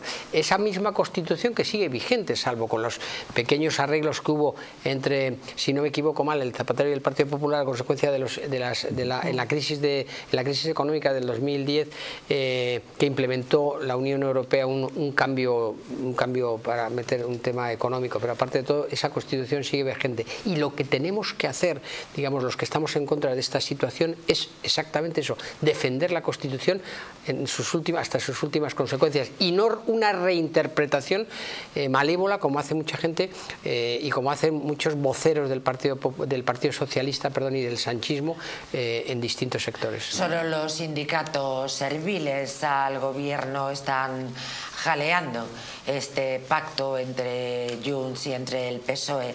Les decía que España se levanta, que hay colectivos que ya están luchando cada uno como, como puede. La COE ha convocado a los empresarios gravemente preocupados por este pacto. Eric Encinas, muy buenas noches. Buenas noches, María José. Buenas noches también a los contertulios con los que estás. Es que los empresarios están enormemente preocupados porque aquí no solamente es una cuestión legal, es una cuestión económica que vamos que, nos llevan a la más pura de las miserias. Nos dejan como ratas. Así es, efectivamente. Bueno, estamos en un golpe, hay que decir que es un golpe ante, a la ley, es un golpe a las instituciones, es un golpe al pueblo español y por lo tanto eso tiene consecuencias económicas devastadoras. Evidentemente, ya lo estábamos apuntando en otros programas también, las consecuencias pues pueden ser, y ya están siendo, que se paren proyectos importantes, desde un proyecto importante que pueda tener Repsol hasta otra multinacional, eh, por lo tanto, pérdida de inversiones y también, pues evidentemente, fuga de, fuga de empresas que sí que haya un, que, va en aumento, es decir, porque eso no ha dejado además de aumentar estos últimos años y además y, la, destrucción de empleo, ¿no? Eh, esas consecuencias, por lo tanto, son devastadoras y además poca confianza da un gobierno que, que, tiene tanta inestabilidad y que incluso censura ¿no? a los periodistas que explicamos y que y nos ataca también. Eh, como hemos visto, y me quiero solidarizar también con Josué, a mí también me han atacado esta semana, bueno, me han intentado atacar esta semana, lamentablemente eh, bueno, eh, un hombre eh, radical iba en una moto y me intentó llevar por delante en,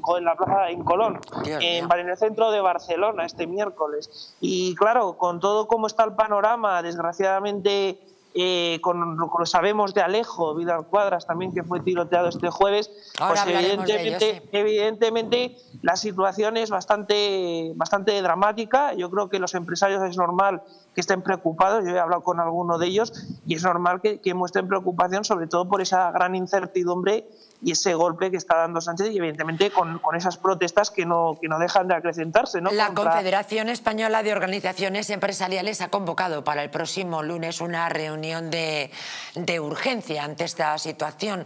¿Qué previsiones, qué previsiones tiene? Yo creo que, yo creo yo creo que en esa reunión evidentemente los empresarios lo que van a, yo creo que por mayoría, van a extraer unas conclusiones yo creo preocupantes y a partir de ahí pues imagino que lo suyo sería que, la COE y como piden algunos empresarios tomen algún tipo de medida. Veremos hasta qué punto eh, puede influir la COE en todo el panorama, en todo el panorama empresarial, porque no es la única organización, también hay que decir, empresarial que se está moviendo en estos momentos. Hay muchos empresarios ya que empiezan a levantar la voz, no solo en la, lo estáis comentando, en la Guardia Civil, se está movilizando muchos sectores de la sociedad, el Poder Judicial muy movilizado y bueno, y en el Poder Empresarial, pues un comunica, pues comunicados veremos constantemente, no me cabe eh, la menor duda de que veremos comunicados para que se dé marcha atrás a esa deriva que es destructiva y devastadora eh, para España y que, y que, y que, ha dado curso Sánchez. Muchas gracias, Eric Encinas. Un saludo. Un abrazo. Que tengas un muy buen fin de semana. Efectivamente, como como bien decía nuestro colaborador, son diferentes los sectores, entre ellos los empresarios. Por cierto, las empresas que se marcharon de Cataluña en 2017 no están por la labor de regresar. Vamos a continuar hablando de todos esos colectivos que se están levantando, que están diciendo no a la venta de España, como decíamos al inicio del programa, a delincuentes convictos y confesos, dándoles todo lo que, todo lo que piden. Eso no se llama negociación, eso se llama otra cosa, pero tiene un nombre muy feo que mis labios no van a pronunciar. Em, la sociedad civil se ha levantado estos días hay pendientes manifestaciones que vamos a recordar antes de finalizar el programa y en una eh, multitudinaria protesta ha, reventado la reunión de Sánchez con Scholz en Málaga al grito de canalla. Tenemos estas imágenes y nos parece que también es una buena forma de levantarse y decir que no a Sánchez en toda su cara. Ha sido en Málaga esta dictadura, la vamos a parar o España no se vende, son los lemas más coreados.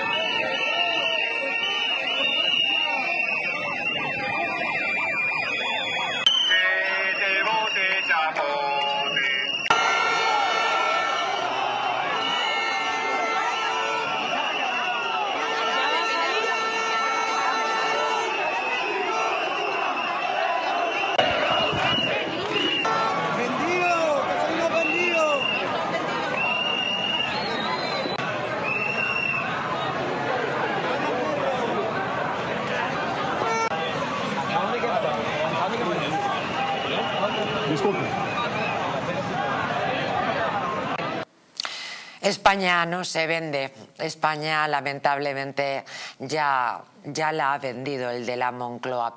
Millones, miles de personas ayer abarrotaron la castellana ante la delegación del Parlamento Europeo al grito de amnistía, amnistía no, a la altura de la delegación del Parlamento Europeo en España. La movilización fue convocada por entidades de la sociedad civil y fue secundada masivamente al punto de que en esta gran arteria de Madrid, en la castellana, no sé si se lo había dicho, quedó con la por la multitud que se concentró ante esta oficina del Europarlamento en el que ha sido un multitudinario llamamiento a la intervención de Bruselas para frenar lo que los manifestantes han definido como golpe contra la democracia. Eh, todos los caminos conducen a Roma. Luis. Bueno, hay que recordar desafortunadamente que la, la, investidura de Sánchez, que se producirá la semana que viene, la va a respaldar 179 eh, diputados. 179 diputados significa aproximadamente en votos 12.506.742 con precisión, mientras que el no a la investidura votarán 11.177.348. Desafortunadamente, este individuo y por los intereses particulares de partidos que quieren eh, romper España realmente, como los que conocemos todos, eh, eh, han dado el poder por un millón trescientos mil votos de diferencia a un individuo que va a poner en peligro las instituciones y las está poniendo en peligro. Pero vuelvo a repetir, el argumento desde el inicio del programa, quiero decir, si este señor ha estado mintiendo permanentemente a la sociedad española, puede mentir perfectamente a sus socios de legislatura y decirle cosas que luego absolutamente no va a cumplir. Ojalá sea así, por el bien de España, no lo sé. Pero en cualquier caso hay que estar en situación de, ¿cómo se dice en el ejército? En situación de atención. Alerta. en situación de alerta. De prevenga, alerta máxima. De prevenga, actuación de prevenga porque puede, puede venir, o sea, puede llegar, pueden suceder situaciones mucho más lamentables de las que ahora estamos anticipando. Paje, eh, dentro de estas reacciones que estamos compartiendo con todos ustedes, parece ser que ha iniciado un punto de no retorno con eh, Sánchez. Eh, y cuidado porque ya está haciendo purgas el tipo, me refiero al de la Moncloa. En un vídeo que vamos a ver dice no lo vamos a tolerar bajo ningún concepto. Más allá del ruido que nos lleva a todos a estar muy preocupados, más allá de las alaracas y más allá de las opiniones y los cambios permanentes de opiniones, más allá de eso, tengan en cuenta una cosa que no es ni aviso ni amenaza. Si hay que ejercer recurso, lo haré. Si hay que plantear batalla, lo haremos. Pero no vamos a pasar por porque sinceramente se haga una relectura de la Constitución española.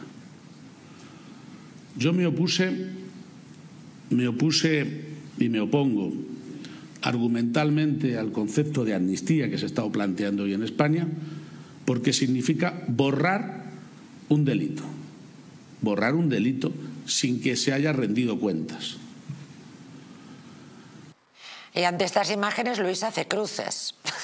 Porque este señor es un cínico, es un auténtico cínico. Y además es que... No le cree nadie. Es que, pero ¿cómo a los medios de comunicación se les ocurre eh, tomar eh, en cuenta las palabras de este individuo que está mintiendo permanentemente? Porque a la hora de verdad, a la hora de, la verdad, podía haber hecho en el Comité Federal, podía haber no solamente dicho de palabras, sino haber cogido a sus representantes de Castilla-La Mancha, haberse levantado y haber sido, o haber votado, o votar, mejor dicho, en el Parlamento en contra de esto. Es mentira. Está haciendo una, una, em, eh, un llamamiento, está haciendo una, lectura, perdón, una, exposición a su, al, voto más eh, conservador, digamos un poco, de su comunidad, de, una comunidad que ha salvado por los auténticos pelos, quiero decir, porque han sido unas cifras que, eh, que ha venido, ha venido no sé cuál es la Virgen de Castilla-La Mancha, pero la Virgen a verle, porque si no es increíble que este individuo, con lo que ha hecho y con lo que es, siga presidiendo... Pues ya, lleva, ya lleva tiempo Hombre, tres se fue, ¿no? volvió, la tercera legislatura. Pero es un cínico, es un,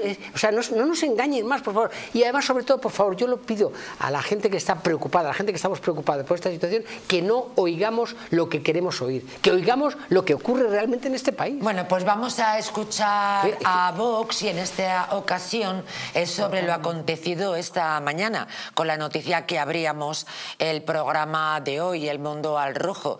Eh, Pedro Sánchez pues ya saben, tienen la mayoría absoluta gracias a que esta misma mañana ha pactado con el PNV. Vox dice que esto es un plan de Sánchez para romper el orden constitucional.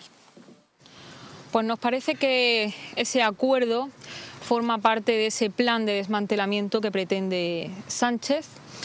Estamos ante un político que es un aprendiz de, de tirano, un dictador, que está camino de formar un gobierno directamente ilegal y que lo va a conseguir a costa de entregar las herramientas del Estado a los enemigos de España, de desmembrar nuestra nación, pero de entregar instituciones que deben ser neutrales y que deben velar por el Estado de Derecho y por la neutralidad para todos los españoles a aquellos que no creen precisamente en la unidad de España. Y ese acuerdo no es casual.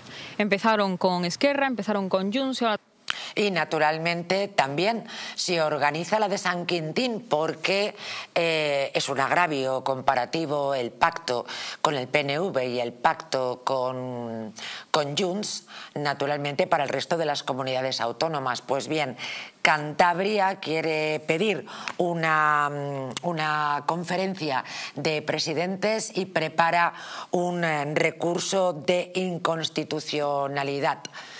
Eh, supongo que es el principio. Evidentemente, se van a ir levantando el resto por efecto dominó de las comunidades autónomas. Yo, mire, yo, yo esto, María José, lo veo como un 2 de mayo. Es decir, en Madrid ha iniciado una revuelta que está en las calles.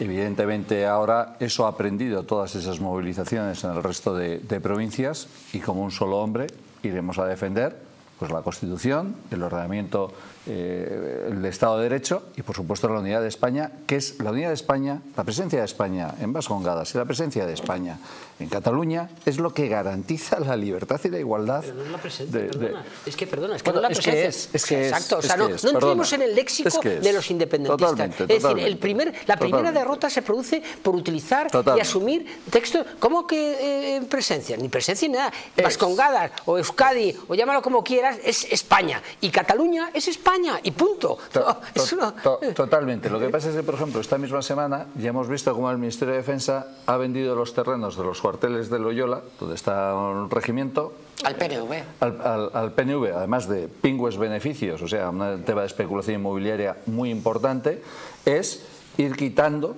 ¿eh? que se vea claramente la bandera de España, que se vea a alguien que garantiza esa libertad, esa igualdad de los españoles. En eso estamos. Pero yo vuelvo a lo mismo. El Partido Socialista Obrero Español y Pedro Sánchez tienen el mismo objetivo que el que está teniendo ETA, que el que está teniendo Esquerra Republicana, que el que está teniendo Junts. Porque si no, no habrían pactado con ellos, habrían pactado con el Partido Popular. Es decir, ellos han escogido proyecto.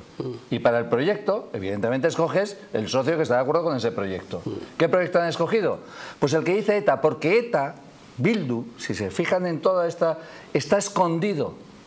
No se ve que, que- que el Partido Socialista se haya sentado con Bildu. Y Bildu es esencial en los votos. Es más, es que Bildu es el que está en la sombra, convenciendo a Esquerra y a Junts, diciendo, ojo, que ahora mismo todo lo que consigamos, bienvenido será porque este presidente del gobierno, Pedro Sánchez, está en el proyecto. Y no verán que se sientan.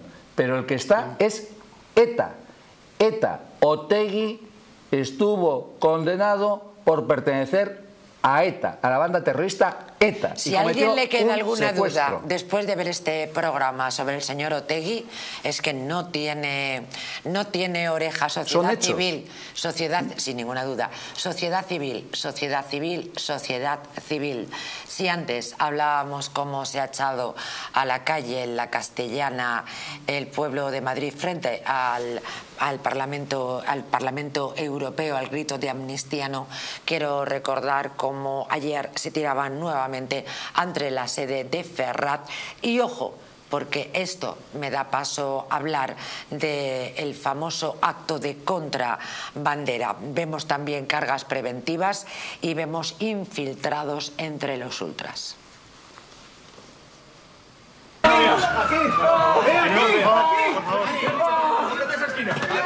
Por favor, para allá. Venga, muchas gracias. ¿Está bien? No, no, para allá, para allá. Por favor. No he hecho nada, tío.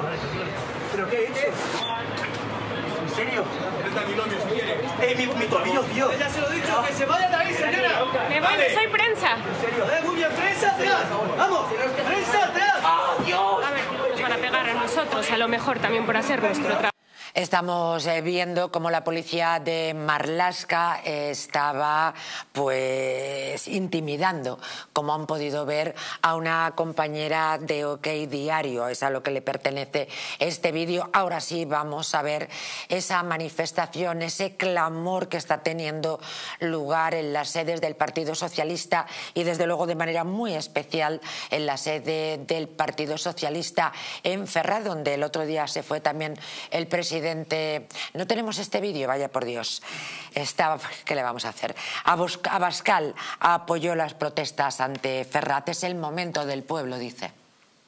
Hoy hacíamos una llamada a la resistencia permanente, a la resistencia contundente, a la resistencia cívica y pacífica, que es lo que hoy se está produciendo aquí una vez más.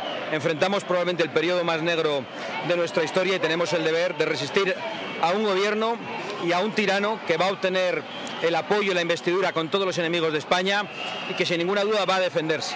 Y va a defenderse utilizando todas las tretas, todas las armas posibles. Va a defenderse pasando por encima de la ley como lo está haciendo al obtener su investidura. Una investidura que ha provocado el hecho inconcebible hasta ahora de que todas las asociaciones de jueces y de fiscales hayan unido su voz contra un gobierno al que... Pues dejemos de hablar del pasado para hablar del futuro. Manifestación el 12 de noviembre. Eh, cada capital de provincia de España va a contar con una manifestación el próximo 12 de noviembre a las 12 del mediodía contra la amnistía de Pedro que Pedro Sánchez ha pactado con los independentistas. Todas ellas han sido organizadas, todas las que hemos vivido anteriormente, pues les recuerdo a todos que se trataba de manifestaciones que habían surgido pues de manera espontánea, muchas de ellas a través de redes. En esta ocasión no, estas son organizadas por el Partido Popular, como comunicó su líder Alberto Núñez Feijóo, excepto la de Barcelona, en la capital del país, la convocatoria en Madrid, la convocatoria del Partido Popular Popular ha llamado a los madrileños a acercarse a la Puerta del Sol a expresar su descontento con la amnistía el 12 de noviembre a las 12 de la mañana. Y hemos, vemos que Vox apoya la moción. apoya, de hecho en San Sebastián estaremos en la Plaza de Pío XII y todo Donostiarra y Guipuzcoano de bien que quiera estar, pues allí estaremos. ¿eh? Y estaremos apoyando, pues, sin color político, la, unidad de, todos aquellos que queremos en el Estado de Derecho y la unidad de España. Bueno, pues efectivamente el Partido Popular ha convocado el próximo día 12 a las 12 en todas las capitales de España, capitales de provincia, para decir no a la amnistía, no al golpe de Estado que pretende dar Pedro Sánchez. Y yo quería invitar a todos los madrileños, especialmente a todos los torrelodonenses, a vernos en la Puerta del Sol el domingo a las 12, porque si alguien cree que esto que está haciendo Pedro Sánchez no le va a afectar, es que está muy equivocado. Nos la estamos jugando todos y hay que estar, como decía hace un momento Juan de Dios, sin partidos, todos a la calle el 12 a las 12 en Madrid, en la Puerta del Sol manifestándonos evidentemente con todo el clamor que eh, eh, necesita esta, este, estos momentos tan difíciles que vive este país, sin violencia y ejerciendo el derecho de cualquier ciudadano a protestar por acciones indebidas de su gobierno, de su gobierno que todavía no está constituido, pero que va a estar constituido el próximo, el próximo jueves o viernes, si no me equivoco, que es la convocatoria de, las, eh, de, la, de, la, de la, investidura, de la investidura en el Parlamento. es verdad que vivimos momentos muy difíciles, em, que seamos serenos y sensatos para afrontarlos y que tengamos la sangre fría y la mente despejada para afrontar un momento complicado, como otros muchos momentos que ha habido este país, pero no en, la medida eh, que se han, eh, digamos, sumado a la situación eh, que tenemos. A las 12 el día 12, esto no tiene pérdida. Es curioso porque decía, lo recordaremos antes de irnos, ¿eh? pero todavía no se muevan de ahí, ¿eh? que tenemos mucha tela que cortar. Decía eh, nuestro colaborador Juan de Dios, hay que colgar las banderas de España, hay que colgar las banderas de España. Y yo que sabía que le iba a traer una noticia más o menos, que iba a caer por aquí, digo, te vas a quedar de pasta de boniato. El gobierno, amigos, sostiene que el uso de la bandera española es propia de la derecha. Ojo, excepto con la selección deportiva, con la selección nacional. ¿Qué? Te la dedico. De estúpidos, lo de la estupidocracia es que es un gobierno de estúpidos. La bandera es de todos. La bandera no es ni de izquierdas, ni de derechas, ni de. Es la bandera de tu país. En estos momentos. la bandera de España es de todos y no es propiedad de absolutamente nadie. Nos, simboliza la unidad de todos los españoles. ¿Qué es lo que pasa? Que estamos en un proyecto de destrucción de España. ¿Eso qué quiere decir? Que todo lo que simboliza España quieren acabar con ello. Menos en Entonces, el la manera que tienen de acabar con el símbolo de la unidad de todos los españoles, sean del partido que sea, o no militen, o no voten ni siquiera, pero que le simboliza la unidad de todos los españoles, es la bandera de España. ¿Qué es lo primero que tienen que acabar? en el ¿Qué es fútbol lo que para tienen que identificar? La bandera con la ultraderecha, que Eso es lo que te quiere digo. hacer, para decir, cambiamos de color de bandera, cambiamos, rompemos España, es parte del proyecto. Ay, señor Staff Detox, porque no me extraña ¿eh? que a veces una copita al final nos lleve a otra. Ojo, que hay que beber con muchísima moderación. Pero estamos en fin de semana, amigos, que lo mismo pues tienen una noche larga de fiesta, con la familia, con los amigos, con la pareja, con los compañeros de trabajo, qué sé yo. Si han terminado cansados y con alguna copa de más, ahora en exclusiva en Naturhaus llega la solución. Staff Detox es el remedio que acaba con esas resacas eternas del día siguiente. ¿Qué, ¿Qué pasa con ellas? Pues que te impiden disfrutar del bienestar. Para más información, visita tu centro más cercano o visítanos en naturhaus.es. Nos vamos, pero retomamos enseguida. En esta última parte nos vamos a ocupar de una noticia que ayer a eso de las 2 de la tarde nos congeló el aliento. Es el atentado contra Alejo Vidal Cuadras, expresidente del Partido Popular en Cataluña y fundador de Vox. Mm, Salvo por girar la cara, pero naturalmente iban a por él. Hoy gracias a Dios estamos hablando de su recuperación, pero si fuera por los que quisieron quitarle la vida en la puerta de su casa, hoy estaríamos hablando de un muerto encima de la mesa. Lo dije a las pocas horas de producirse el atentado y lo repito ahora. Me, hizo una regresión en el tiempo hasta llegar a Calvo Sotelo. Ya sé que hay gente que no le gusta que se mezclen las cosas. Yo no mezclo nada. Yo digo a lo que me recordó, a dónde me llevó el recuerdo de la historia.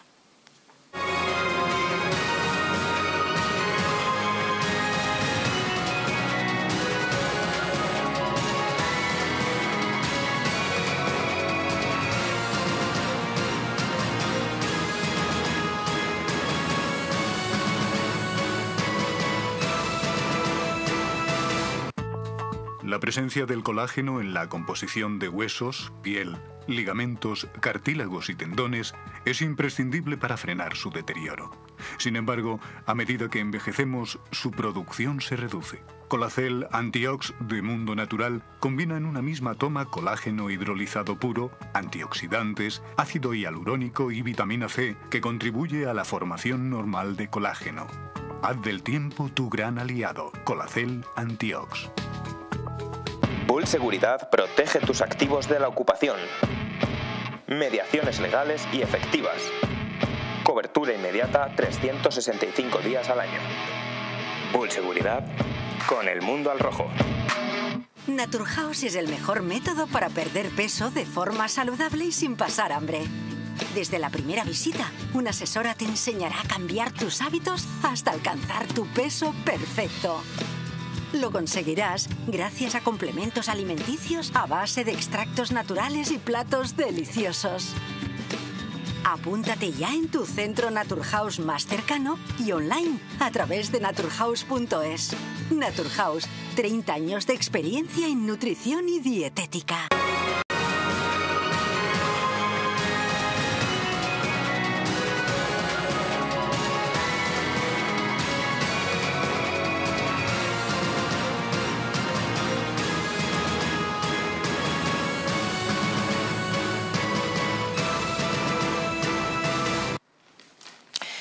Eran las dos de la tarde, más o menos, dos, dos y cuarto de la tarde, cuando ayer nos llegaba una noticia que nos impactó sobremanera. Tengo que decir que la prensa internacional también lo ha recogido y con honda preocupación. Em, Ahora vamos a hablar de algunas algunas circunstancias que rodean este intento de asesinato que fundamentalmente lo que tenemos que decir es que mm, ya dio la noticia ayer Jesús Ángel Rojo en este programa. mm, Alejo Vidal Cuadras mm, se está recuperando, ha sido intervenido en el Hospital Gregorio Marañón de Madrid, entró por su propio pie en la, en la ambulancia y se está recuperando afortunadamente.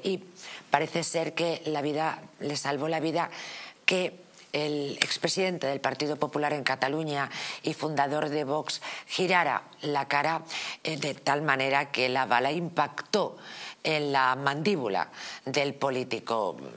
No sé cómo recogisteis la noticia, nos, vamos, nosotros nos quedamos es que impactante, impactante, Yo me quedé impactadísima, sin palabras. ¿eh? Estábamos celebrando la, la, Virgen de la Almudena y fue tremendamente impactante. Dentro de la mala noticia, la buena noticia es que afortunadamente eh, él sigue vivo, eh, pero tiene 76 años y un atentado de estas características va a tener secuelas, lógicamente. No tenemos que albergar, bueno, él ha, ha sugerido que pueden ser eh, una venganza del régimen iraní, del régimen terrorista iraní hacia su persona, que podría ser no, absolutamente no descartable, pero vamos a esperar las investigaciones de la policía española y que eh, encuentren a los causantes de esto. Y en lo último, línea... no podemos permitir, perdona, y lo último, no podemos permitir ni en Madrid ni en ninguna de las ciudades españolas que se convierta esto en Medellín. Es decir, si hay sicarios, que se les meta en la cárcel, que cumplan una condena estrictísima y no podemos permitir que uno de los valores más increíbles, que nosotros no le damos ningún valor, sorprendentemente, pero que la gente que viene, por ejemplo, de Latinoamérica y de los países del este a vivir entre nosotros, lo valora muchísimo, que es el de la seguridad en nuestras calles. Importante, eh, Luis comentaba que se atribuía ¿no? a Irán el atentado contra Alejo Vidal Cuadras. Esta misma mañana la resistencia democrática eh, iraní condenaba el atentado contra Alejo Vidal Cuadras y además pide una investigación profunda para hallar los culpables. La presidenta del Consejo Nacional de la Resistencia de Irán ha sido quien ha hecho este, esta condena enérgica y ella ocupa el cargo de del Comité Internacional en busca de la justicia. Esta mujer que vive exiliada en París, Rajavi, exigió una investigación profunda sobre el ataque para que los autores materiales e intelectuales sean procesados por este acto de de terrorismo desde sus tiempos como vicepresidenta del Parlamento Europeo, que les voy a recordar eh, tuvo lugar entre el año 1999 a 2014. Vidal Cuadras ha involucrado con las actividades del Consejo Nacional de Resistencia de Irán, que promueve el fin de la teocracia islamista y el regreso a un sistema democrático.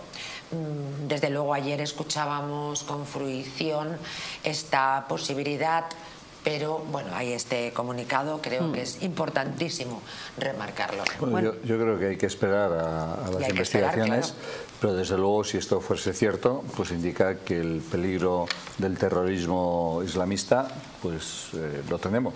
Entonces, pues tienen que que aplicarse a fondo nuestros cuerpos y fuerzas de seguridad, nuestros servicios de información y, por supuesto, tener muy controlada la inmigración ilegal que nos está viniendo, porque todo esto... Sí, sí, estamos controlando, no, que, es una, estamos controlando que es una maravilla. Sí, sí pero sí. yo iría más, esto, es decir, esto... si eso es así, si se confirma que detrás de este atentado Irán, está claro, Irán, claro. el gobierno español tiene que pedir responsabilidades. Claro, es que, es decir, tiene que llegar a la una, cuestión. una- es que no se A puede ver, permitir. esperemos las investigaciones. Creo que es un Evidentemente. poco apresurado. Vamos a ver. Hay mucha premura en elevarnos en estas conclusiones. Por lo visto, eh, quien introduce a Irán en la sospecha es el propio Alejo. En el momento en que sufre el atentado, él dice efectivamente que es por sus vínculos con la resistencia frente a ese régimen teocrático criminal el iraní, eh, quien ha ordenado su asesinato. La policía ha descartado el robo o el atraco, evidentemente era algo muy planificado, él volvía de correr a su casa como hacía todos los días, es en la puerta de su casa un tipo que va con un casco de moto puesto, lo hago para que la gente lo entienda, ¿no? Y que tenía otra mujer motorista esperándole después de pegarle el tiro. Alejo está vivo porque mueve un poquito la cabeza, porque ve lo que se le viene encima y gracias a eso, pues sí, la diosa Fortuna efectivamente no ha fallecido. Y entonces yo quería hacer la pregunta que ha hecho Luis. ¿Qué pasa si estas investigaciones llevan a la conclusión de que el régimen iraní ha intentado asesinar a Alejo Vidal Cuadras en suelo español? Porque esto es de una gravedad infinita de lo que estamos hablando. Y repito, si estamos hablando de Irán es porque el propio Alejo dijo en el primer momento, desde el primer momento, que había sido Irán y se conoce como él ha apoyado a la resistencia. ¿Qué va a hacer Sánchez? No, y si y definitivamente Irán estuviera detrás.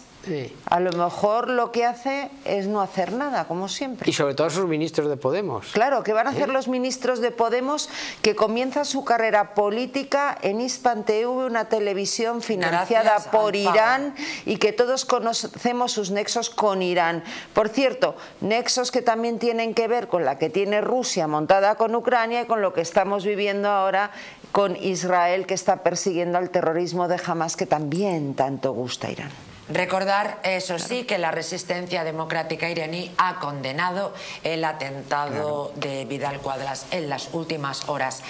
Es tremendo la, la situación que estamos viviendo, eh, con la tranquilidad, afortunadamente, gracias a Dios, de que Ale- eh, Alex eh, Vidal Cuadras, Alejo Vidal Cuadras se está recuperando, que esto bueno, es un susto, es un susto, pero hay que encontrar a los culpables y meterlos en la cárcel como poco, como poco. Pero ¿qué está pasando en este país? Resulta que hay un miserable comentario de una entidad eh, separatista sobre el ataque de ayer a Vidal eh, Cuadras. Teníamos eh, el tuit, ¿verdad, compañeros? Que sí, teníamos... No, no lo tenemos, bueno, tendríamos que tenerlo. Eh, bueno, pues eh, la, asociación, la entidad separatista, se llama Jóvenes Juntos, eh, Juvens Junts.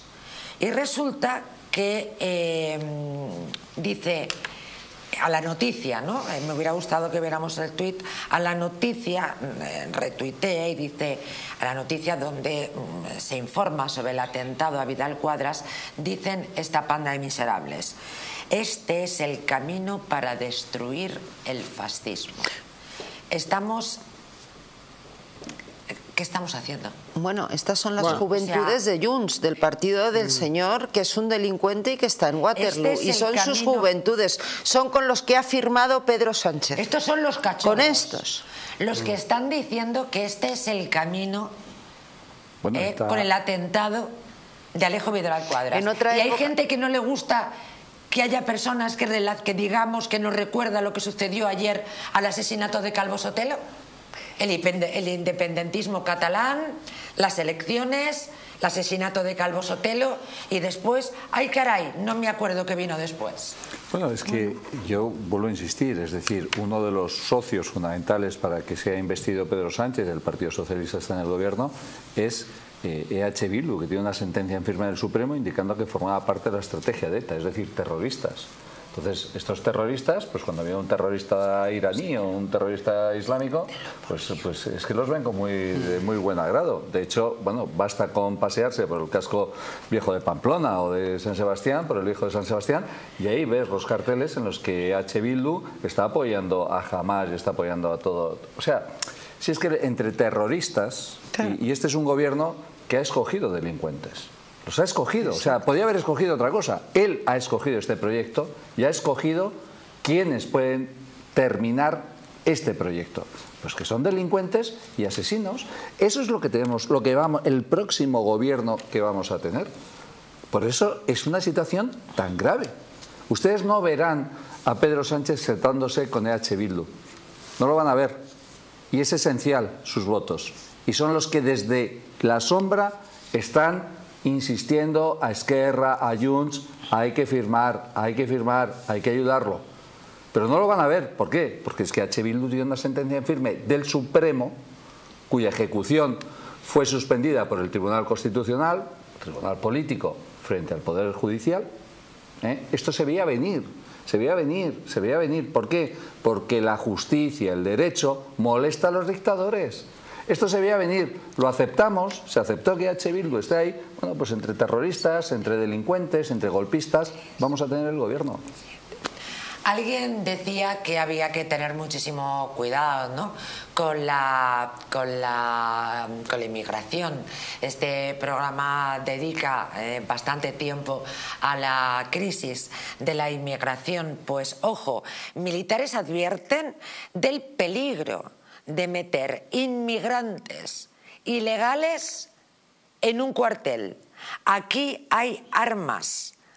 Fuentes militares del cuartel de Primo de Rivera en Alcalá de Henares han trasladado pues, su preocupación a diferentes medios de comunicación por la llegada de inmigrantes ilegales a esas dependencias, porque es que ahí custodian armas en la misma línea que el ayuntamiento del municipio, que lleva días denunciando la falta de información sobre la llegada de estas personas migrantes en situación de ilegalidad desembarcadas en las Islas Canarias y que están siendo repartidas por la península. El personal que presta servicio en este cuartel no sabe nada de cuándo llegarán y no lo ven nada adecuado, naturalmente. O sea, es que, es que estamos dando fuego al pirómano mucho más adecuado que sea en la casa de Marlasca, en la, casa de Yolanda Díaz. O sea, lo digo porque es mucho más adecuado.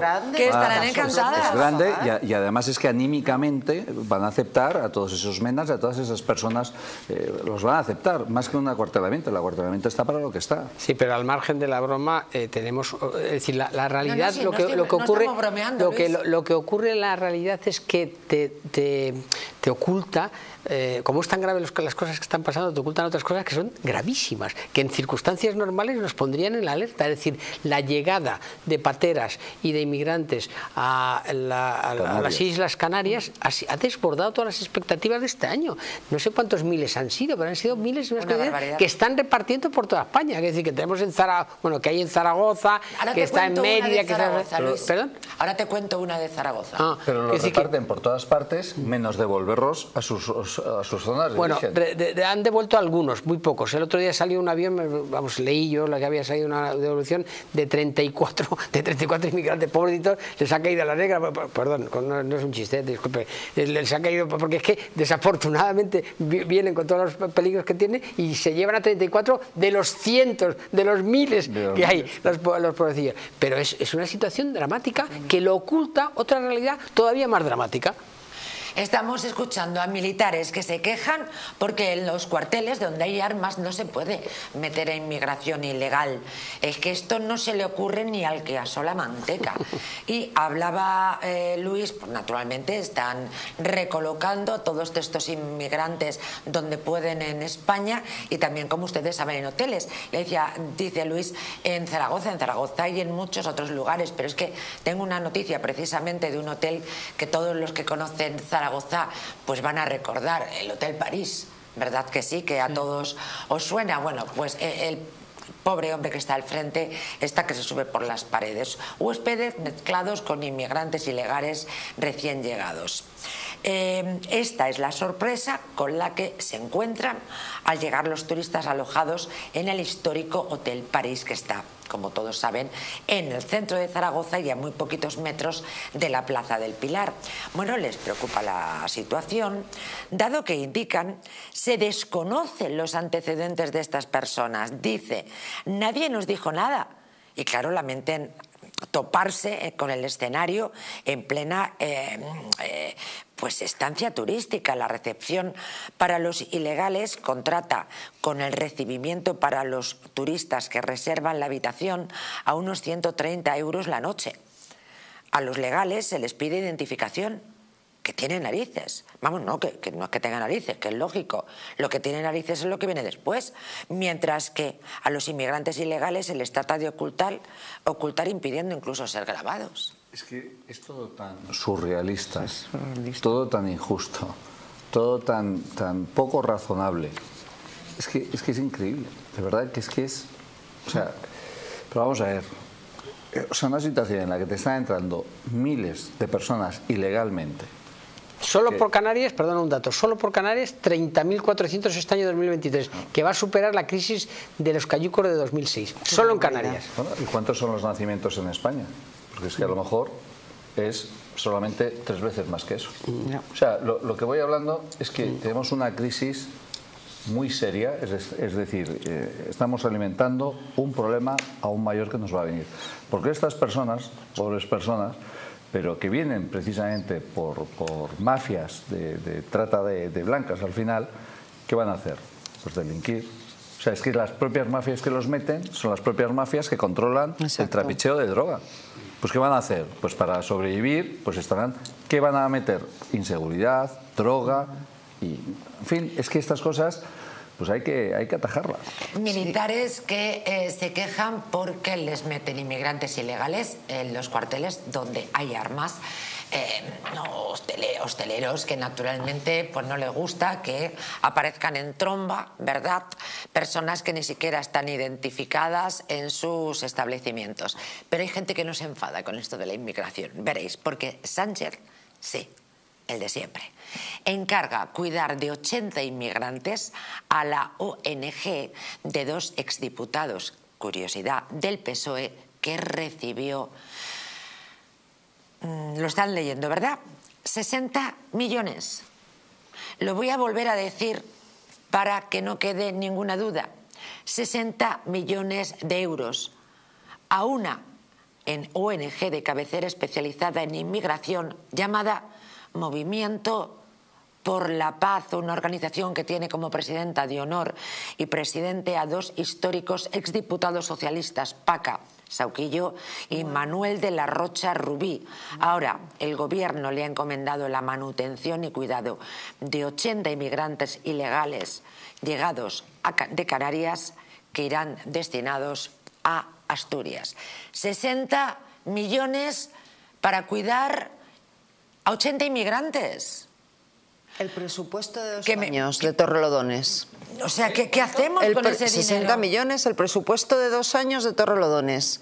Pero que el problema ya no solamente es que naturalmente le han dado el dinero, en fin, a, a entidades afines al Partido Socialista. Pero ¿cómo que 60 millones para cuidar? Esto es una broma.